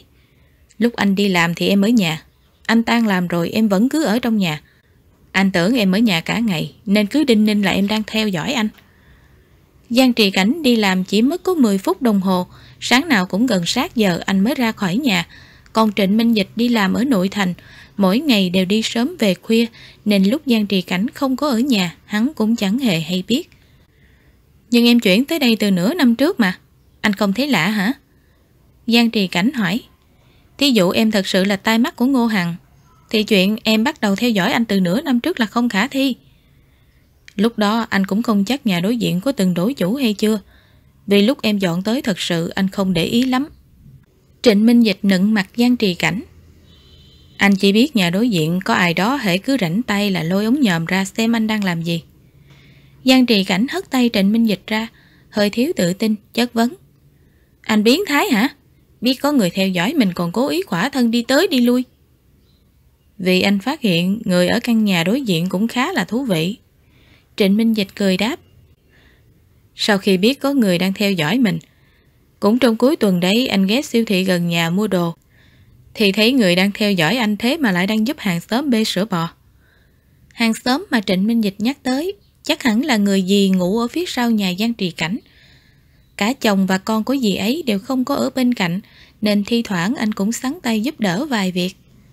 Giọng điệu Trịnh Minh Dịch lúc kể lại chuyện này nghe có phần hài hước, Giang Trì Cảnh nhướng mày hỏi. Làm sao? Theo dõi anh thì không thể giúp hàng xóm bê sữa bò được à? Em không thấy chuyện này kỳ lạ lắm sao? Trịnh Minh Dịch nói. Rõ là đi làm nhiệm vụ theo dõi, nhưng lại có thời gian xây dựng mối quan hệ tốt đẹp với hàng xóm. Thêm nữa, lúc ấy anh đang có mặt trong siêu thị, vậy mà người ấy lại không hề phát hiện ra. Chẳng có kẻ theo dõi chuyên nghiệp nào lại ẩu tả như thế được. Từ đó anh bắt đầu nhận ra em không phải là đang theo dõi anh. Giang Trì Cảnh hỏi. Không, anh chỉ thấy hơi lạ nên bắt đầu quan sát em thôi. Trịnh Minh Dịch nói. Đây cũng là lý do dù biết có người đang theo dõi, nhưng anh vẫn không hạ rèm cửa. Chỉ cần thả rèm cửa xuống, Giang Trì Cảnh sẽ không thấy hắn được nữa và Trịnh Minh Dịch cũng đồng thời không thể nhìn thấy anh hắn vẫn luôn mở rèm cửa, mặc cho đối phương theo dõi mình, chính là để biết mục đích thật sự của người ở căn nhà đối diện. Anh quan sát thì quan sát đi, Giang Trì Cảnh bất mãn đáp. Sao còn chơi cái trò khỏa thân đeo tạp về làm gì vậy? Báo hại, anh còn tưởng mình không dưng được món hời, ai ngờ tất cả đều do Trịnh Minh Dịch bày ra. Chắc hẳn lúc anh đang thòm thèm dòm tấm lưng của Trịnh Minh Dịch thì hắn đang vừa chiên bò bít tết vừa thấy buồn cười dữ lắm. Vì anh phát hiện hàng xóm nhà đối diện không chỉ là khá thú vị đâu. Trịnh Minh Dịch cười đáp. Phải là rất thú vị mới đúng. Thú vị chỗ nào chứ? Giang Trì Cảnh trước giờ chưa từng thấy bản thân là người thú vị. Anh gần như không bao giờ đọc sách. Phim ảnh mà anh xem cũng chẳng cao siêu gì. Điểm thú vị duy nhất có thể moi ra được chắc là anh viết chữ khá đẹp. dáng dấp xinh đẹp. Trịnh Minh Dịch thốt ra một đáp án khó mà ngờ tới. Giang Trì Cảnh nhướng mày, kênh kiệu đáp. Ờ. Đã vậy còn là bé đáng yêu thích giúp đỡ mọi người nữa. Trịnh Minh Dịch tiếp lời. Ai là bé đáng yêu chứ? Giang Trì Cảnh nhăn mặt. Nói tóm lại, anh thường thấy em giúp đỡ hàng xóm. Trịnh Minh Dịch bảo. Anh thấy lạ lắm. Người như thế này sao lại đến theo dõi anh được? Nhưng đợt ấy anh thật sự bận tối mắt tối mũi nên không còn hơi sức đâu mà đi thăm dò thêm tin tức. Anh không rỗi hơi đi thăm dò nhưng lại thừa sức chơi trò theo dõi với em đấy hả? Giang Trì Cảnh hỏi. Chơi với em không gọi là tốn sức mà là thả lỏng tinh thần. Trịnh Minh Dịch nhìn anh. Đây là thứ duy nhất giúp anh tiêu khiển trong khoảng thời gian đó. Giang Trì Cảnh hiểu, khi ấy Trịnh Minh Dịch bị Ngô Hằng theo đuôi như hổ rình mồi, cả ngày hắn buộc phải giữ tinh thần tập trung cao độ, và chỉ có thể thư giãn chút ít sau khi về nhà buổi tối thôi. Trêu em vui lắm hay gì? Giang Trì Cảnh hỏi. Rất vui, em không biết em đáng yêu tới mức nào đâu. Trịnh Minh Dịch cười bảo. Rõ là em đang bận rộn chăm sóc sân vườn, nhưng chỉ cần nghe tiếng anh đấm bốc là em vứt hết đồ đạc chạy biến lên phòng ngủ trên lầu. Em có chạy đâu? Giang Trì Cảnh nhăn nhó phản đối. Em bước đi rất chi là dè dặt nha. Nghe được hai chữ dè dặt, Trịnh Minh Dịch bật cười một lúc lâu rồi mới hỏi. Sau đó anh liên lạc với quan Vĩ, định giao manh mối cho anh ta. Nhưng đúng hôm ấy, Ngô bằng cảnh cáo anh ra mặt. Anh linh cảm có chuyện chẳng lành nên tan tầm sớm chạy về nhà. Là cái hôm em tan tầm về thấy anh đang đấm bốc. Giang Trì Cảnh tiếp lời. Đúng vậy. Anh thấy em về nhà, nên cho là em vừa đi gặp Ngô Hằng. Trịnh Minh Dịch không có thời gian đi điều tra lý lịch Giang Trì Cảnh. Hắn cứ ngỡ anh là tay sai nhảy nhép đi theo dõi thôi, chứ không đời nào nghĩ đến chuyện mình bị đối phương nhìn lén, bởi xác suất gặp kẻ nghiện nhìn lén trong đời thực quả thực là rất thấp. Thêm nữa khi ấy lại đang vướng chuyện của Ngô Hằng, nên dù Giang Trì Cảnh có ở nhà và sinh hoạt bình thường, thì hắn cũng cho rằng anh đang giả vờ giả vịt mà thôi. Vậy ra hôm đó anh đánh hăng máu như vậy Giang trì cảnh bỗng thấy hơi buồn cười Là do anh tưởng rằng em đi báo cáo tin tức cho Ngô Hằng nghe Sau đó đấm bốc cho hả cơn giận Ừ Trịnh Minh Dịch đáp Xem ai mới là người đáng yêu đây Hả Giang trì cảnh rốt cuộc cũng tìm được cơ hội nựng mặt Trịnh Minh Dịch Tự mình suy diễn nhiều như vậy Rồi đơn phương nổi cơn tam bành với em Sau đó là vụ đột nhập lúc khuya Trịnh Minh Dịch nắng lấy cổ tay của Giang Trì Cảnh, nhanh chóng đổi chủ đề. Anh không ngờ là em sẽ giúp anh, nên thấy rất là hoang mang. Em tốt bụng với bao nhiêu hàng xóm như vậy thì sao không giúp anh được chứ? Giang Trì Cảnh thật không ngờ anh hàng xóm ngầu lòi quyến rũ, lại có chuyển biến tâm lý phức tạp đến như vậy, mà bản thân anh lại không hề hay biết gì. Thế nên anh đã dành ra mấy ngày để điều tra em, rồi mới hay, em quả thật không có liên quan gì tới Ngô Hằng cả. Trịnh Minh Dịch nói. Giang Trì Cảnh nhớ rõ, sau đêm đó Trịnh Minh Dịch biến mất cả mấy hôm liền, ra là để đi điều tra lý lịch của anh. Người chuyển tới nửa năm trước là em, nhà chưa từng đổi chủ. Trịnh Minh Dịch nói, em là quản giáo ở nhà tù phía Nam, trước đây từng là thư ký phiên tòa, chưa từng có tiền án tiền sự. Nhà em cũng khá là giàu có, không cần thiết phải đi giao dịch đổi chác với Ngô Hằng. Nói đến đây Trịnh Minh Dịch dừng lại một chút rồi kết luận. Nói cách khác, người đang sống ở căn nhà đối diện không phải là kẻ đang theo dõi anh, mà chỉ đơn giản là một nhóc biến thái thích nhìn lén mà thôi. Giang trị cảnh ngượng ngùng đằng hắn một tiếng, bóng gió bảo. Anh mà hay tiếp xúc với nhân viên khu dân cư thì đã thừa biết việc căn nhà đối diện chưa từng đổi chủ. Đúng thế, Trịnh Minh Dịch đáp. Nhưng anh lời tiếp xúc với họ.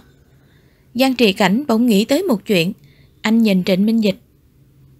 Vậy ra trước khi vào tù anh đã biết em là ai nên mới trêu chọc mãi đó hả? Lúc Giang Trì Cảnh đi xem mắt, Trịnh Minh Dịch đã bốc trần việc anh thích đàn ông. Khi ấy Giang Trì Cảnh vẫn chưa rõ lý do mình bị bại lộ chuyện này. Hóa ra là vì Trịnh Minh Dịch đã biết chuyện anh nhìn lén hắn. Anh mà không BD thì đời nào lại có chuyện mới nghe tiếng người ta tập đấm bốc thôi đã hăng hái chạy như bay lên lầu để nhìn lén. Thêm cả lúc làm bài kiểm tra tâm lý nữa, Trịnh Minh Dịch hỏi anh thích làm chuyện ấy khi đang tắt đèn, cũng là để ám chỉ việc anh thích núp trong bóng tối để nhìn lén hắn. Còn chuyện thích ăn mứt dâu, khoảng cách chỗ ở, phát hiện camera trong phòng giải trí, tự nói mình là kẻ thích khoe thân và dở trò khỏa thân mặc tập về như ban nãy nữa.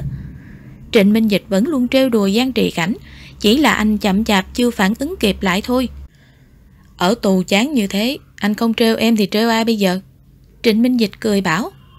Anh giỏi quá ha. Giang Trì Cảnh nghiến răng nghiến lợi ngồi bật dậy. Em muốn đi tố cáo với trưởng ngục, yêu cầu bãi bỏ đãi ngộ đặc biệt của anh. Trịnh Minh Dịch ôm Giang Trì Cảnh vào lòng lần nữa. Thật ra ban đầu anh không định đi tù đâu. Chứ không phải là hết cách hả? Giang Trì Cảnh hỏi. Đánh thua ván cờ thì chỉ còn có mỗi nước đi tù thôi.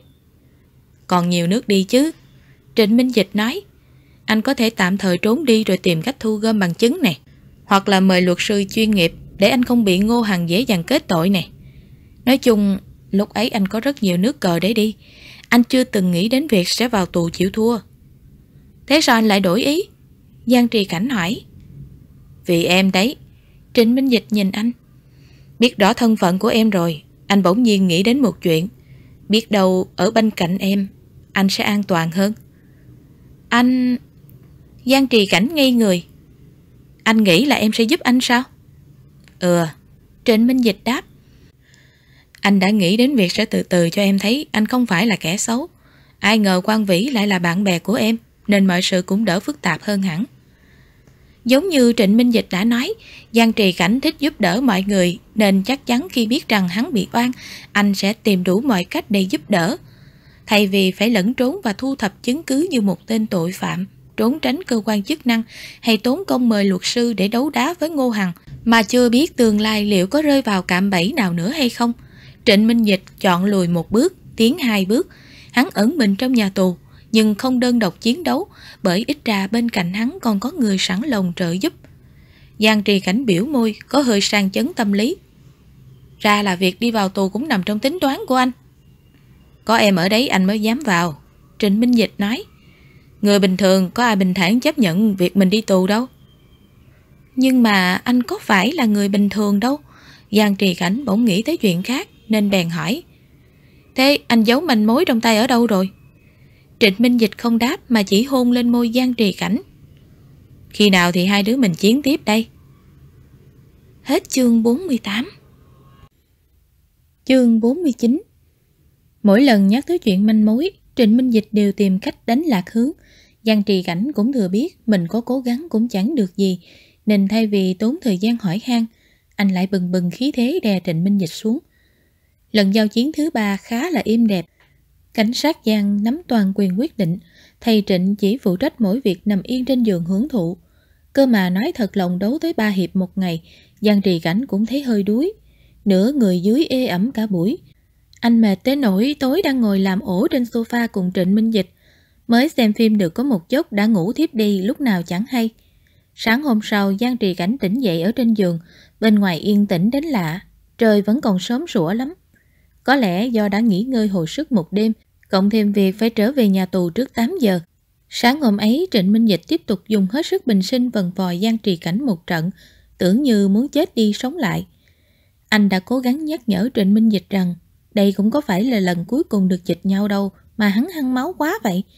Thế nhưng đồng chí Trịnh Minh Dịch quyết chí không nghe, chỉ chăm chăm cày cuốc, khiến Giang Trì Cảnh cứ tưởng mình không xuống giường được luôn. 7 giờ rưỡi sáng, Quang Vĩ xuất hiện trước nhà Giang Trì Cảnh. Anh không rõ Trịnh Minh Dịch có nói gì với quan vĩ hay không, mà ra tù chỉ có một ngày nhưng hắn lại đến nhà Giang Trì Cảnh. Có lẽ Trịnh Minh Dịch sẽ biên ra một lý do nào đó rất quan minh chính đại, nhưng quan vĩ cũng không phải là kẻ ngu ngốc, nên đoán chừng y cũng đã biết chút gì đó rồi. Cả buổi sáng chỉ lo hưởng lạc trên giường, thành ra Trịnh Minh Dịch không kịp ăn gì bỏ bụng. Hắn vội rửa mặt rồi đè Giang Trì Cảnh lên cửa ra vào tầng trệt, sau đó hôn anh một trận cho thật đã nghiền. Trong khi Giang Trì Cảnh mệt đứt cả hơi, Trịnh Minh Dịch lại khoan khoái từ đầu đến chân. Cứ như thể 24 giờ qua hắn chẳng mất đi tí năng lượng nào, mà ngược lại còn được bù đắp đủ hết những gì mà bản thân bị hao hụt trong nhà tù. Nói chẳng hòa chứ, Giang Trì Cảnh cảm thấy người nọ cứ y như hồ ly tinh, đến đây chỉ với một mục đích là hút cạn dương khí của anh. Phải mà quan vĩ ở ngoài cửa không bấm chuông thì chắc Trịnh Minh Dịch còn muốn hôn tới khi nào chán chê mới thôi. Anh đi đây. Giang Giang. Trịnh Minh Dịch nhìn anh, dáng vẻ rõ là không muốn đi chút nào. Giang Trì Cảnh bỗng nhớ tới cô cháu gái nhỏ ở nhà của mình. Con bé không thích đi học nên mỗi lần ra tới cửa cũng dùng già dùng dằn như thế này. Anh thì không bệnh rịnh đến mức như Trịnh Minh Dịch. Đằng nào ngày mai anh cũng phải đi làm, đôi bên sẽ gặp nhau tiếp thôi. Nhưng tâm thái của Trịnh Minh Dịch sẽ không được như vậy, vì hắn đang ngồi tù nên sẽ không thể thoải mái vui vẻ như anh đang đi làm được. Mai gặp nhé. Giang Trì Cảnh biết đã sắp trễ giờ rồi, anh chụp một phát lên khóe môi Trịnh Minh Dịch, sau đó lách người ra, vặn tay nắm cửa đằng sau. Lần sau anh ra tù em sẽ chuẩn bị đồng phục kỹ càng mà. Có lẽ từ lần sau này khiến người nghe như thấp lên hy vọng, Trịnh Minh Dịch đứng thẳng người lơm lơm nhìn Giang Trì Cảnh. Nếu lại gạt anh thì tính sao đây? Thì em... Giang Trì Cảnh thì thầm vài chữ bên tai hắn. Trịnh Minh Dịch lập tức cười đáp. Được. Quang Vĩ chở Trịnh Minh Dịch rời khỏi khu dân cư, chạy theo hướng về nhà tù phía nam. Căn nhà lại trở về với sự im ắng. Nếu không phải còn nhìn thấy những nếp gấp lộn xộn do bị thứ gì đó đè ép trên quyển, hướng dẫn nhập môn cờ vây, thì Giang Trì Cảnh thực sự nghĩ mọi chuyện xảy ra từ hôm qua đến giờ cũng chỉ là một cơn mơ. À vậy, sao lại mơ được? Trừ khi trong cơn mơ ấy anh lại chạy marathon thì mai ra. Ăn sáng xong, Giang Trì Cảnh quay lại phòng ngủ thay khăn trải giường đã bị bẩn. Bàn làm việc bên hông giường không bị ảnh hưởng bởi cuộc giao chiến của hai người, nên đồ vật trên đó vẫn còn yên nguyên. Giang Trì Cảnh nhát trông thấy cạnh chỗ anh hay để đồng hồ, xuất hiện một chiếc đồng hồ hàng hiệu. Đó là đồng hồ của Trịnh Minh Dịch. Giang Trì Cảnh biết giá cả của nó đủ để mua một chiếc xe hơi bình thường của anh. Có lẽ Trịnh Minh Dịch bỏ quên ở nhà anh, nhưng dù có mang đi thì cũng không dùng được, vì vào tới nhà tù chắc chắn đồng hồ sẽ bị thu lại. Giang Trì Cảnh cất nó vào trong ngăn tủ rồi tiếp tục dọn phòng. Trong góc xúc miệng ở phòng vệ sinh có hai chiếc bàn chải đánh răng. Tối qua Giang Trì Cảnh ngủ sớm nên cũng không chuẩn bị gì cho Trịnh Minh Dịch. Đến sáng nay anh hỏi người nọ mới hay. Lúc anh còn đang say giấc, hắn đã đi siêu thị một chuyến. Muốn biết chất lượng của bàn chải đánh răng như thế nào thì chỉ cần nhìn bề ngoài của nó. Giang Trì Cảnh có thể nhìn ra được chiếc bàn chải mà Trịnh Minh Dịch mua không phải là loại rẻ tiền dùng một lần rồi thôi, mà là để dùng lâu dài. Cảm giác này quá là vi diệu. Hồi Giang Trì Cảnh ở chung với Lạc Hải cũng không gần gũi đến mức này. Thế mà anh và Trịnh Minh Dịch chỉ quen nhau mới mấy tháng mà người nọ đã ngang nhiên bỏ bàn giải đánh răng vào nhà anh. Đúng là Giang Trì Cảnh có giữ kẻ với Lạc Hải, bởi anh thật sự không muốn y biết đam mê nhìn lén của mình. Giống như con người ta thường sẽ chú ý ngôn từ hành vi khi nói chuyện với người lạ, nhưng gặp người quen rồi thì sẵn sàng bung xóa bản thân. Trịnh Minh Dịch đã sớm biết bí mật của anh, nên Giang Trì Cảnh cũng không còn gánh nặng tâm lý gì nữa. Sau khi cất bàn chải đánh răng vào tủ gương, Giang Trì Cảnh tiện tay sắp xếp lại đồ đạc nhưng anh cảm thấy trong tủ dường như thiếu thiếu thứ gì đó. Mãi cho đến khi đi vứt rác ngoài sân và trông thấy lọ nước hoa gần như chưa được dùng đến trong thùng rác, thì anh mới vỡ lẽ. Nếu như Giang Trì Cảnh không nhầm, thì hồi đầu tuần anh có dùng lọ nước hoa này và cất nó vào trong tủ gương trong phòng tắm. Giang Trì Cảnh thở dài tỏ vẻ bất lực. Dĩ nhiên anh cũng không định đem lọ nước hoa này về. Xem ra sau này trong nhà anh sẽ có một vị đệ tử của Hoàng Thư rồi. Quay qua quay lại đã tới thứ hai, hôm nay Giang Trì Cảnh dậy sớm hơn mọi lần. Thì thoảng một số cán bộ văn thư sẽ tự làm cơm trưa mang đi vì ngại đồ ăn trong tù quá dầu mỡ. Đến giờ ăn chỉ cần bỏ vào lò vi sóng hâm nóng là được. Giang Trì Cảnh thấy rườm rà nên trước giờ chưa từng mang bữa trưa theo. Thế nhưng hôm nay tâm trạng Giang Trì Cảnh rất tốt. Anh đặc biệt dành thời gian ghé siêu thị mua vài chiếc hộp thủy tinh đựng đồ ăn. Lúc Giang Trì Cảnh xách theo túi đồ ăn vào tù, bảo vệ vẫn kiểm tra đồ đạc như thường lệ và tán chuyện dăm ba câu với anh. Chú ấy hỏi gần đây anh mới học nấu ăn hay sao? Giang Trì Cảnh đáp chỉ là anh ngán đồ ăn trong tù nên muốn đổi khẩu vị tí thôi. Số lượng thư từ vào thứ hai luôn nhiều hơn bình thường vì có thư tồn động từ hai ngày cuối tuần. hôm nay số lượng thư từ lại còn nhiều hơn nữa. Bởi đợt rồi nhà tù giới nghiêm cả một tuần trời, vừa gỡ lệnh một phát là thư từ ùng ùng đổ về. Giang Trị Cảnh nhanh chóng kiểm tra nội dung của từng bức thư thì bỗng ngạc nhiên, bởi đã rất lâu rồi anh mới thấy có người gửi thư cho hứa thắng. Trên thư không đề địa chỉ rõ ràng, nhưng xem nội dung thì cũng không có để nhận ra nó được gửi từ bệnh viện đến. Hứa thắng, có thư của anh này. Vẫn như mọi lần, Giang Trì Cảnh đưa thư hết dãy nhà giam số 3 và số 2 rồi mới ghé dãy nhà giam của Hứa Thắng. Nhìn vẻ mặt của Hứa Thắng thì có lẽ hắn ta cũng không ngờ mình có thư. Chắc anh biết tin rồi. Giang Trì Cảnh nói. Ca phẫu thuật của bà cụ thành công tốt đẹp. Ừ. Hứa Thắng lúc nào cũng để tâm tới tình hình của hai vợ chồng già kia nên chắc là đã biết tin này ngay từ đầu. Hắn ta dậm mở lá thư, đôi con người mở to, xem chừng rất ngạc nhiên. Sau đó hứa thắng lập tức gấp thư lại như thể muốn từ từ thẩm thấu nội dung ấy cho riêng mình. Anh mà có kế hoạch gì? Giang Trì Cảnh nói, thì có thể liên hệ với bộ phận hành chính bất cứ lúc nào. Cảm ơn cảnh sát Giang. Hứa Thắng nói. Giang Trì Cảnh không ừ hử gì thêm mà chỉ xoay người rời khỏi khu giam giữ. Người gửi thư cho Hứa Thắng chính là cụ ông. Trước là để thông báo ca mổ của cụ bà đã thành công. Ông cũng đã mời hộ lý chăm sóc nên hắn ta không cần lo lắng. Sau là để kể lại những chuyện ngày cụ ông mới biết Hứa Thắng. Ngôn từ ở đoạn sau rất khác, không khó để nhận ra sự hoài niệm trong từng câu chữ của cụ ông. Xem chừng ông cũng không hề thù hận gì hứa thắng.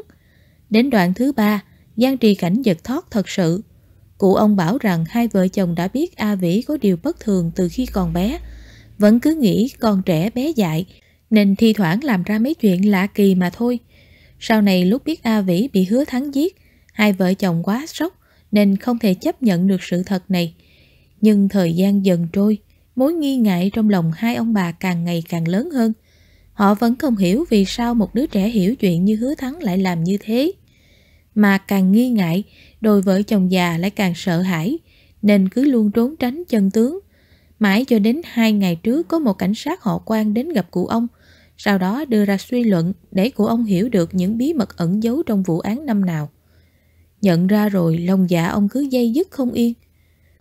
Chuyện đã xảy ra hơn 10 năm nên cũng chẳng khác gì rơi vào quên lãng. Cụ ông muốn cảnh sát điều tra lại vụ án tra tấn và giết người hàng loạt năm ấy, để hứa thắng có thể sớm ra tù.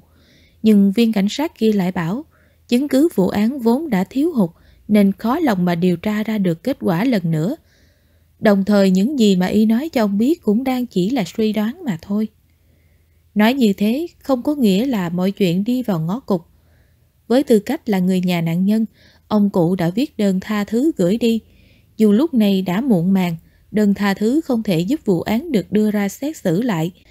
Nhưng ít ra cũng có thể cầu xin đơn vị giam giữ giảm thời gian thi hành án cho hứa thắng. Hứa thắng đã đi tù hơn 10 năm, biểu hiện trong tù lại rất tốt. Nếu như hắn ta thật sự được giảm án thì nói không chừng. Chỉ vài năm nữa thôi là đã được tự do rồi. Khi ấy, khéo công chúa cũng sắp ra tù.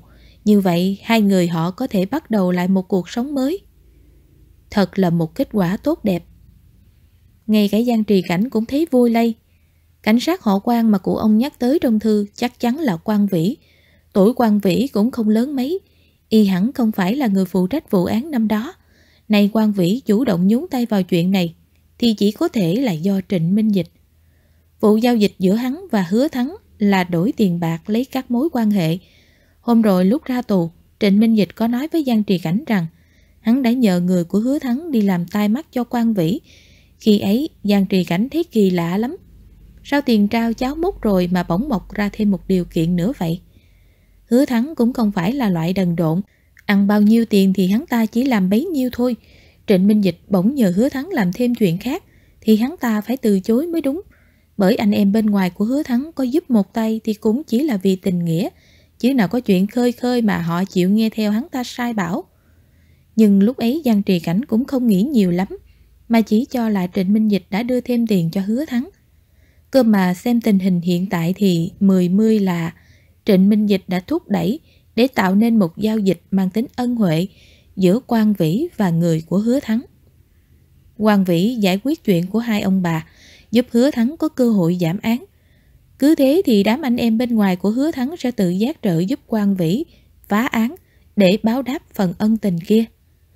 Chắc hẳn hứa thắng cũng ù ù cạc cạc trong vụ này, vì nếu biết thì hắn ta sẽ không để cho quan vĩ đi làm phiền hai vợ chồng già. Vấn đề hứa thắng quan tâm là sức khỏe của hai ông bà, nhưng mười mấy năm qua đi, giờ cụ ông lại chấp nhận được sự thật năm đó, cụ bà cũng thoát khỏi cảnh hiểm nguy xem ra quan vĩ đã tạo được cái kết toàn vẹn nhất à không đâu phải quan vĩ tạo ra đây là kết quả tuyệt vời nhất mà Trịnh Minh Dịch đã cất công thiết lập. Trên đường trở lại tòa nhà công vụ, Giang Trì Cảnh không khỏi cảm thán lần nữa. Nếu dùng từ quyến rũ để hình dung bộ não của Trịnh Minh Dịch, thì phải nói rằng não của hắn quyến rũ đến mức khiến người ta không cưỡng lại được. Dù là giúp quan vĩ phá án, hay là giúp hứa thắng được giảm án, thì tự trung, Trịnh Minh Dịch vẫn đang giúp chính bản thân hắn. Hoàng vĩ ban đầu chỉ chú tâm đến chuyện của Hằng Tường, giờ lại điều tra thêm mấy công ty cùng lúc. Nếu như y đủ năng lực phá án đến cùng thì không chỉ sự nghiệp được thăng tiến mà còn giúp ích cho xã hội nữa. Hay như hứa thắng ban đầu cũng chỉ muốn giải quyết tiền thuốc men cho bà cụ, nhưng giờ lại tự nhiên được thêm cơ hội giảm thời gian thi hành án, cứ như được ơn trời ban phước. Hai người họ và tất cả những ai từng hợp tác với Trịnh Minh Dịch đều sẽ được hưởng lợi ích cao vời nhất với năng lực kiểm soát tình hình của bản thân thì Giang Trì Cảnh tự thấy anh sẽ không tính toán được đến mức này. Điều kinh khủng nhất là Trịnh Minh Dịch lo liệu mọi sự dù hắn đang ở trong tù. Vừa nghĩ đến đây, Giang Trì Cảnh đã trông thấy Trịnh Minh Dịch đang ngồi đợi ở cửa thư viện từ chỗ quẹo vào hành lang. Hắn mặc đồng phục tù nhân màu cam, tay đeo còng màu bạc. Bên cạnh là quản giáo phụ trách nhiệm vụ áp giải. Hôm nay Giang Trì Cảnh giao thư khá lâu, xem ra Trịnh Minh Dịch đã ngồi đợi được một lúc. Thấy Giang Trì Cảnh đi lại gần, hắn cất tiếng chào hỏi như mọi lần. Chào buổi sáng. Trước đây mỗi lần gặp Trịnh Minh Dịch đều bảo Chào buổi sáng cảnh sát Giang. Mười lần như một chưa bao giờ lệch dù chỉ là một chữ. Chẳng hiểu sao hôm nay hắn chỉ nói một vế đầu. Giang Trì Cảnh thấy hơi là lạ. Đừng lúc Giang Trì Cảnh đợi người nọ thốt ra ba chữ còn lại. Trịnh Minh Dịch thừa dịp quản giáo bên cạnh không chú ý, bèn mấp mấy môi, dùng khẩu hình bảo anh rằng, Bà xã. Hết chương 49 Chương 50 Đến thời gian nghỉ giải lao, Trịnh Minh Dịch lại ra sân tập. Tiết trời dần trở nên mát mẻ, Số lượng người đi ra sân tập cũng càng ngày càng đông hơn. Thế nhưng ngoài các loại dụng cụ máy móc tập thể dục thì bãi tập cũng không có mấy chỗ ngồi nghỉ chân được Bằng ghế dài duy nhất trong sân đã bị hứa thắng chiếm dụng từ lâu. Thế nhưng chỉ cần Trịnh Minh Dịch xuất hiện, một nửa phần ghế còn lại chắc chắn là của hắn. Giang trì cảnh nhàn nhã ngó ra ngoài cửa sổ, ngắm góc nghiêng của người nọ. Dù nhìn xa hay gần thì anh vẫn không thể rời mắt khỏi gương mặt Trịnh Minh Dịch. Bờ môi hắn mấp máy, đương trò chuyện cùng với hứa thắng đang ngồi ngay bên cạnh. Vì khoảng cách khá xa nên Giang Trì Cảnh cũng không nghe rõ hai người nói gì với nhau. Cảnh tượng cứ như một bộ phim câm tĩnh lặng, khiến anh càng thêm chú ý vào biểu cảm và dáng dấp của nhân vật chính. Trái ngược với hứa thắng đang chống khuỷu tay lên đầu gối, dáng vẻ hơi có phần câu nệ. Trịnh Minh Dịch lại thoải mái, tựa lưng vào ghế, tay đặt lên đùi một cách rất tự nhiên. Hắn lạnh nhạt phóng tầm mắt về phía trước, bờ môi mấp máy không thể hiện quá nhiều cảm xúc. Giang trì cảnh đoán, hai người họ đang nói về chuyện hứa thắng được giảm thời hạn chấp hành hình phạt, Ban đầu hứa thắng còn u u cạc cạc chưa rõ, nhưng giờ thì mọi chuyện đã rõ. Chắc là hắn sẽ đến tìm gặp Trịnh Minh Dịch để xác nhận. Hứa thắng cứ rủ mắt nhìn xuống sân bãi.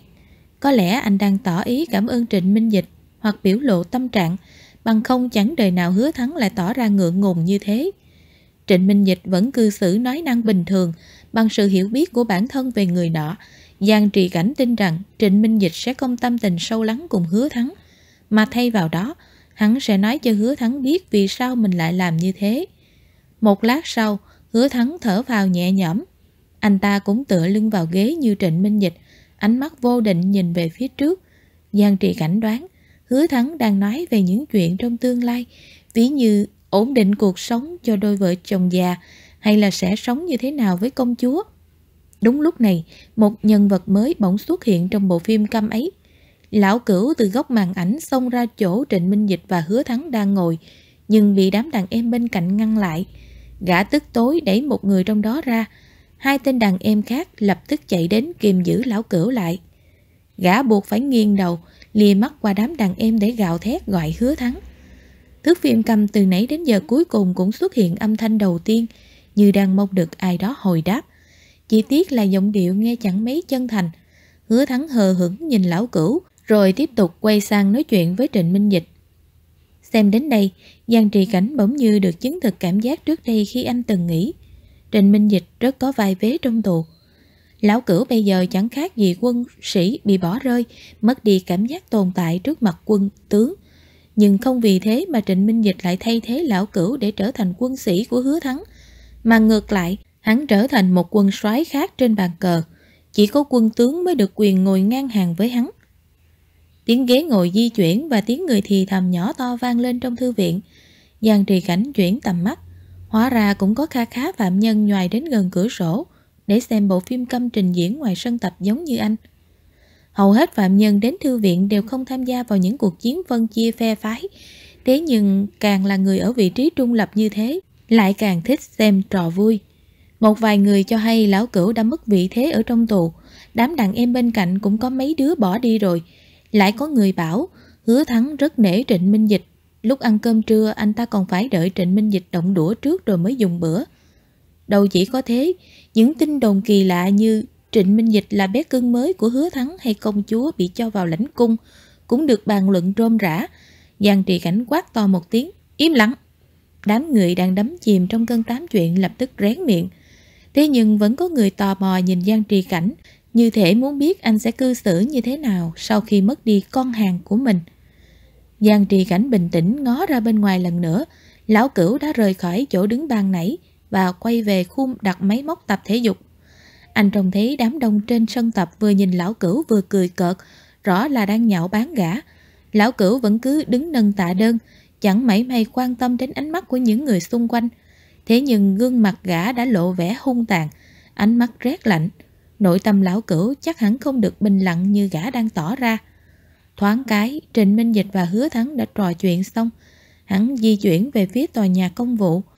Lão cửu lập tức đặt cục tạ đơn trên tay xuống, liếc nhìn theo bóng dáng của Trịnh Minh Dịch. Ánh mắt dần đanh lại. Trịnh Minh Dịch đi rồi, bộ phim câm không còn nhân vật nam chính, nên Giang Trì Cảnh cũng chẳng còn hứng thú theo dõi. Ban nãy có phạm nhân ngồi vào hàng ghế đầu sát bên cửa sổ để dễ bề hóng chuyện. Nhưng vừa nhát trông thấy bóng Trịnh Minh Dịch trong thư viện, người đó đã nhanh chân cầm sách quay lại chỗ ngồi trước đó. Trịnh Minh Dịch vẫn ngồi ở vị trí như mọi lần, hắn dùng khẩu hình bảo Giang Trì Cảnh. Anh đói quá à. Giang trì cảnh hất cầm, ra dấu rằng bánh dâu tây đang nằm trong chiếc túi bảo vệ môi trường bên cạnh. Kim giờ chậm rãi điểm mốc 2 giờ, trong thư viện cuối cùng chỉ còn lại hai người. Trịnh Minh Dịch chuyển sang ngồi ở khu vực làm việc. Hắn nhanh chóng mở hộp đựng đồ ăn mà Giang Trì Cảnh mang tới cho. Trông cũng tạm tạm. Trịnh Minh Dịch nhìn chiếc bánh trong tay bảo. Thế thôi đừng ăn. Giang Trì Cảnh ra vẻ muốn đòi lại. Sao lại không ăn? Trịnh Minh Dịch cắn một miếng, chậm rãi nhấm nháp một lúc mà vẫn không nói gì. Vị như nào? Giang Trì Cảnh vội hỏi. Ngon lắm. Trịnh Minh Dịch gật nhẹ đầu. Nhưng mà lần sau em cho thêm nhiều đường tí nha. Em cho theo công thức đấy. Giang Trì Cảnh bỗng nhớ tới lọ mứt dâu tây ngọt liệm người kia. Anh nhíu mày hỏi tiếp. Sao anh ăn ngọt dữ vậy? Anh thích đồ ngọt mà. Trịnh Minh Dịch cười, ăn thêm một chiếc bánh nữa. Để làm đồ ăn cho đúng gu một người thì đúng là cần phải thử rất nhiều lần. Giang trì Cảnh cũng không xoắn xít thêm nữa. Anh nghiêm giọng nhắc nhở. À, em bảo anh phải cẩn thận lão cửu đấy. Em thấy gã không được bình thường à? Trịnh Minh Dịch dường như rất đói bụng. Hắn ăn vài miếng đã hết tiếp chiếc bánh dâu tây thứ hai. Rất không bình thường. Giang Trì Cảnh thấy người nọ ăn ngon lành như vậy nên cũng tự cầm một miếng bánh lên ăn. Chắc gã đang tính kế trả thù. Lão cửu chịu án chung thân nên sẽ rụt xương nơi đây. Nhà tù là cả thế giới của gã. Lão cửu chắc chắn không thể chịu đựng được việc mình bỗng dưng rơi từ đỉnh cao của chuỗi thức ăn xuống đáy vực. Đã vậy còn bị mọi người chung quanh dè biểu. Anh sẽ đề phòng gã. Trịnh Minh Dịch nhanh chóng giải quyết hết mớ bánh dâu tây, cả hộp giờ chỉ còn lại non nửa miếng trên tay Giang Trì Cảnh. Anh phải cẩn thận đó. Giang Trì Cảnh dặn dò. Thằng vua cũng thua thằng liều. Gã chẳng còn gì để mất đâu, nên nếu gây sự là sẽ căng lắm đấy.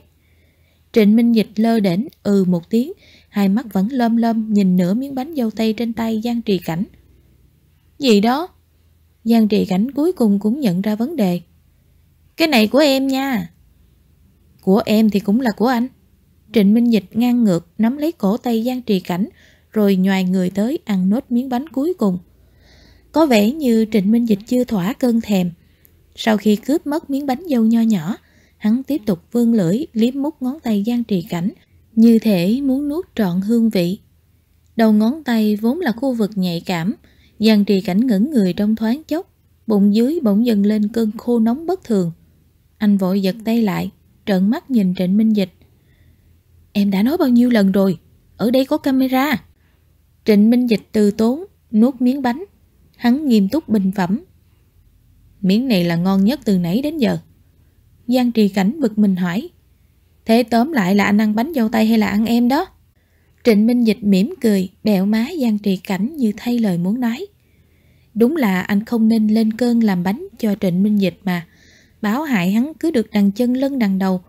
Cũng may sau đó Trịnh Minh Dịch chỉ an phận ngồi xem biểu đồ chứng khoán và phân tích tình hình hiện tại cho Giang Trì Cảnh nghe chứ không làm gì bậy bạ nữa. Giá cổ phiếu đồng hồ lão chung vẫn đang giảm nhưng không còn được đà lao dốc gây khủng hoảng như lúc trước mà vẫn ở mức bình bình. Trong khi đó, cổ phiếu của những công ty mà quan vĩ theo dõi bỗng sụt giảm và tụt lại so với đà tăng của thị trường chứ không tăng mạnh như khi chính sách kia vừa công bố. Một số người cảm thấy tình hình không ổn nên đã bắt đầu lặng lẽ bán thốc bán tháo. Tình huống này đồng nghĩa với việc Quang Vĩ đã sắp thành công rồi. Chỉ cần Quang Vĩ có thể điều tra ra tận gốc vấn đề của mấy công ty nọ, thì vụ án của anh sẽ được đem ra xét xử lại. Trịnh Minh Dịch nói, Cổ phiếu của các công ty trên đều có liên quan đến vụ án bán khống của Trịnh Minh Dịch. Nếu như ban lãnh đạo cấp cao của những công ty này dính nghi vấn thao túng cổ phiếu, thì tương đương với việc các bằng chứng kết tội Trịnh Minh Dịch sẽ giảm hẳn độ tin cậy. Nếu nhanh thì tầm một tháng nhỉ? Giang Trì Cảnh hỏi. Trịnh Minh Dịch ầm một tiếng, chỉ là từ ầm này kéo dài âm cuối, nửa như khẳng định, nửa như phủ định. Giang Trì Cảnh cũng không nghĩ ngợi nhiều, đằng nào thì Trịnh Minh Dịch cũng không nắm chắc được thời gian tòa án mở phiên tòa phúc thẩm. Sau 3 giờ chiều, Trịnh Minh Dịch rời khỏi thư viện với cái bụng no nê. Còn 2 tiếng nữa là Giang Trì Cảnh tan tầm. Anh rảnh rỗi nên đi sắp xếp lại kệ sách trong thư viện. Mới bận rộn chưa được bao lâu, Lạc Hải đã đến đây. Đạo đầu quá. Lạc Hải tìm một chiếc ghế ngồi xuống. Y mỏi mệt gục người, tay xoa xoa phần giữa lông mày. Vì vô quan à? Giang trì cảnh lại gần Lạc Hải. Anh dựa người lên bàn. Trẻ người non dại nên đúng là không hiểu chuyện gì hết. Lạc Hải nói. Y không nói rõ ràng, nhưng Giang trì cảnh cũng lờ mờ đoán được. Vua quan lúc nào cũng hăng hái đòi thay đời hành đạo, tâm tư chẳng khác gì mấy thằng nhóc cấp 2 trẩu tre, cư xử không hiểu chuyện là điều hiển nhiên thôi. Không phải anh thích chăm nom người nhỏ tuổi hơn mình sao? Giang Trì Cảnh hỏi. Biết điều quá đâm ra, anh lại thấy chán ngán. Nói đúng hơn, Lạc Hải sẽ mất đi hứng thú nếu đối phương sống quá độc lập. Y thích người yêu phải sống dựa vào mình, mà Giang Trì Cảnh lại hoàn toàn không phải là người có tính cách như thế. Anh thích đôi bên cho nhau không gian riêng, Ví như Giang Trì Cảnh biết, Trịnh Minh Dịch luôn có rất nhiều kế hoạch trong đầu, nhưng anh không bao giờ chất vấn đòi hiểu được hết. Bởi đến lúc cần thiết, Trịnh Minh Dịch sẽ nói cho anh nghe thôi. Rồi rồi anh nhận thua. Lạc Hải bất đắc dĩ đáp. Thích thế thì đành chịu thôi. Nhưng mà vẫn nên cẩn thận đó, anh đừng có chịu thằng nhỏ sinh tật. Giang Trì Cảnh vừa dứt lời, bộ đàm trên vai bỗng truyền đến âm thanh hỗn loạn. Giọng quản giáo nào đó đang lo lắng vang lên. Bác sĩ Lạc, anh có đó không bác sĩ Lạc? Lão cửu đâm người ta bị thương rồi. Phiền anh chạy qua khu nhà xưởng gấp. Hết chương 50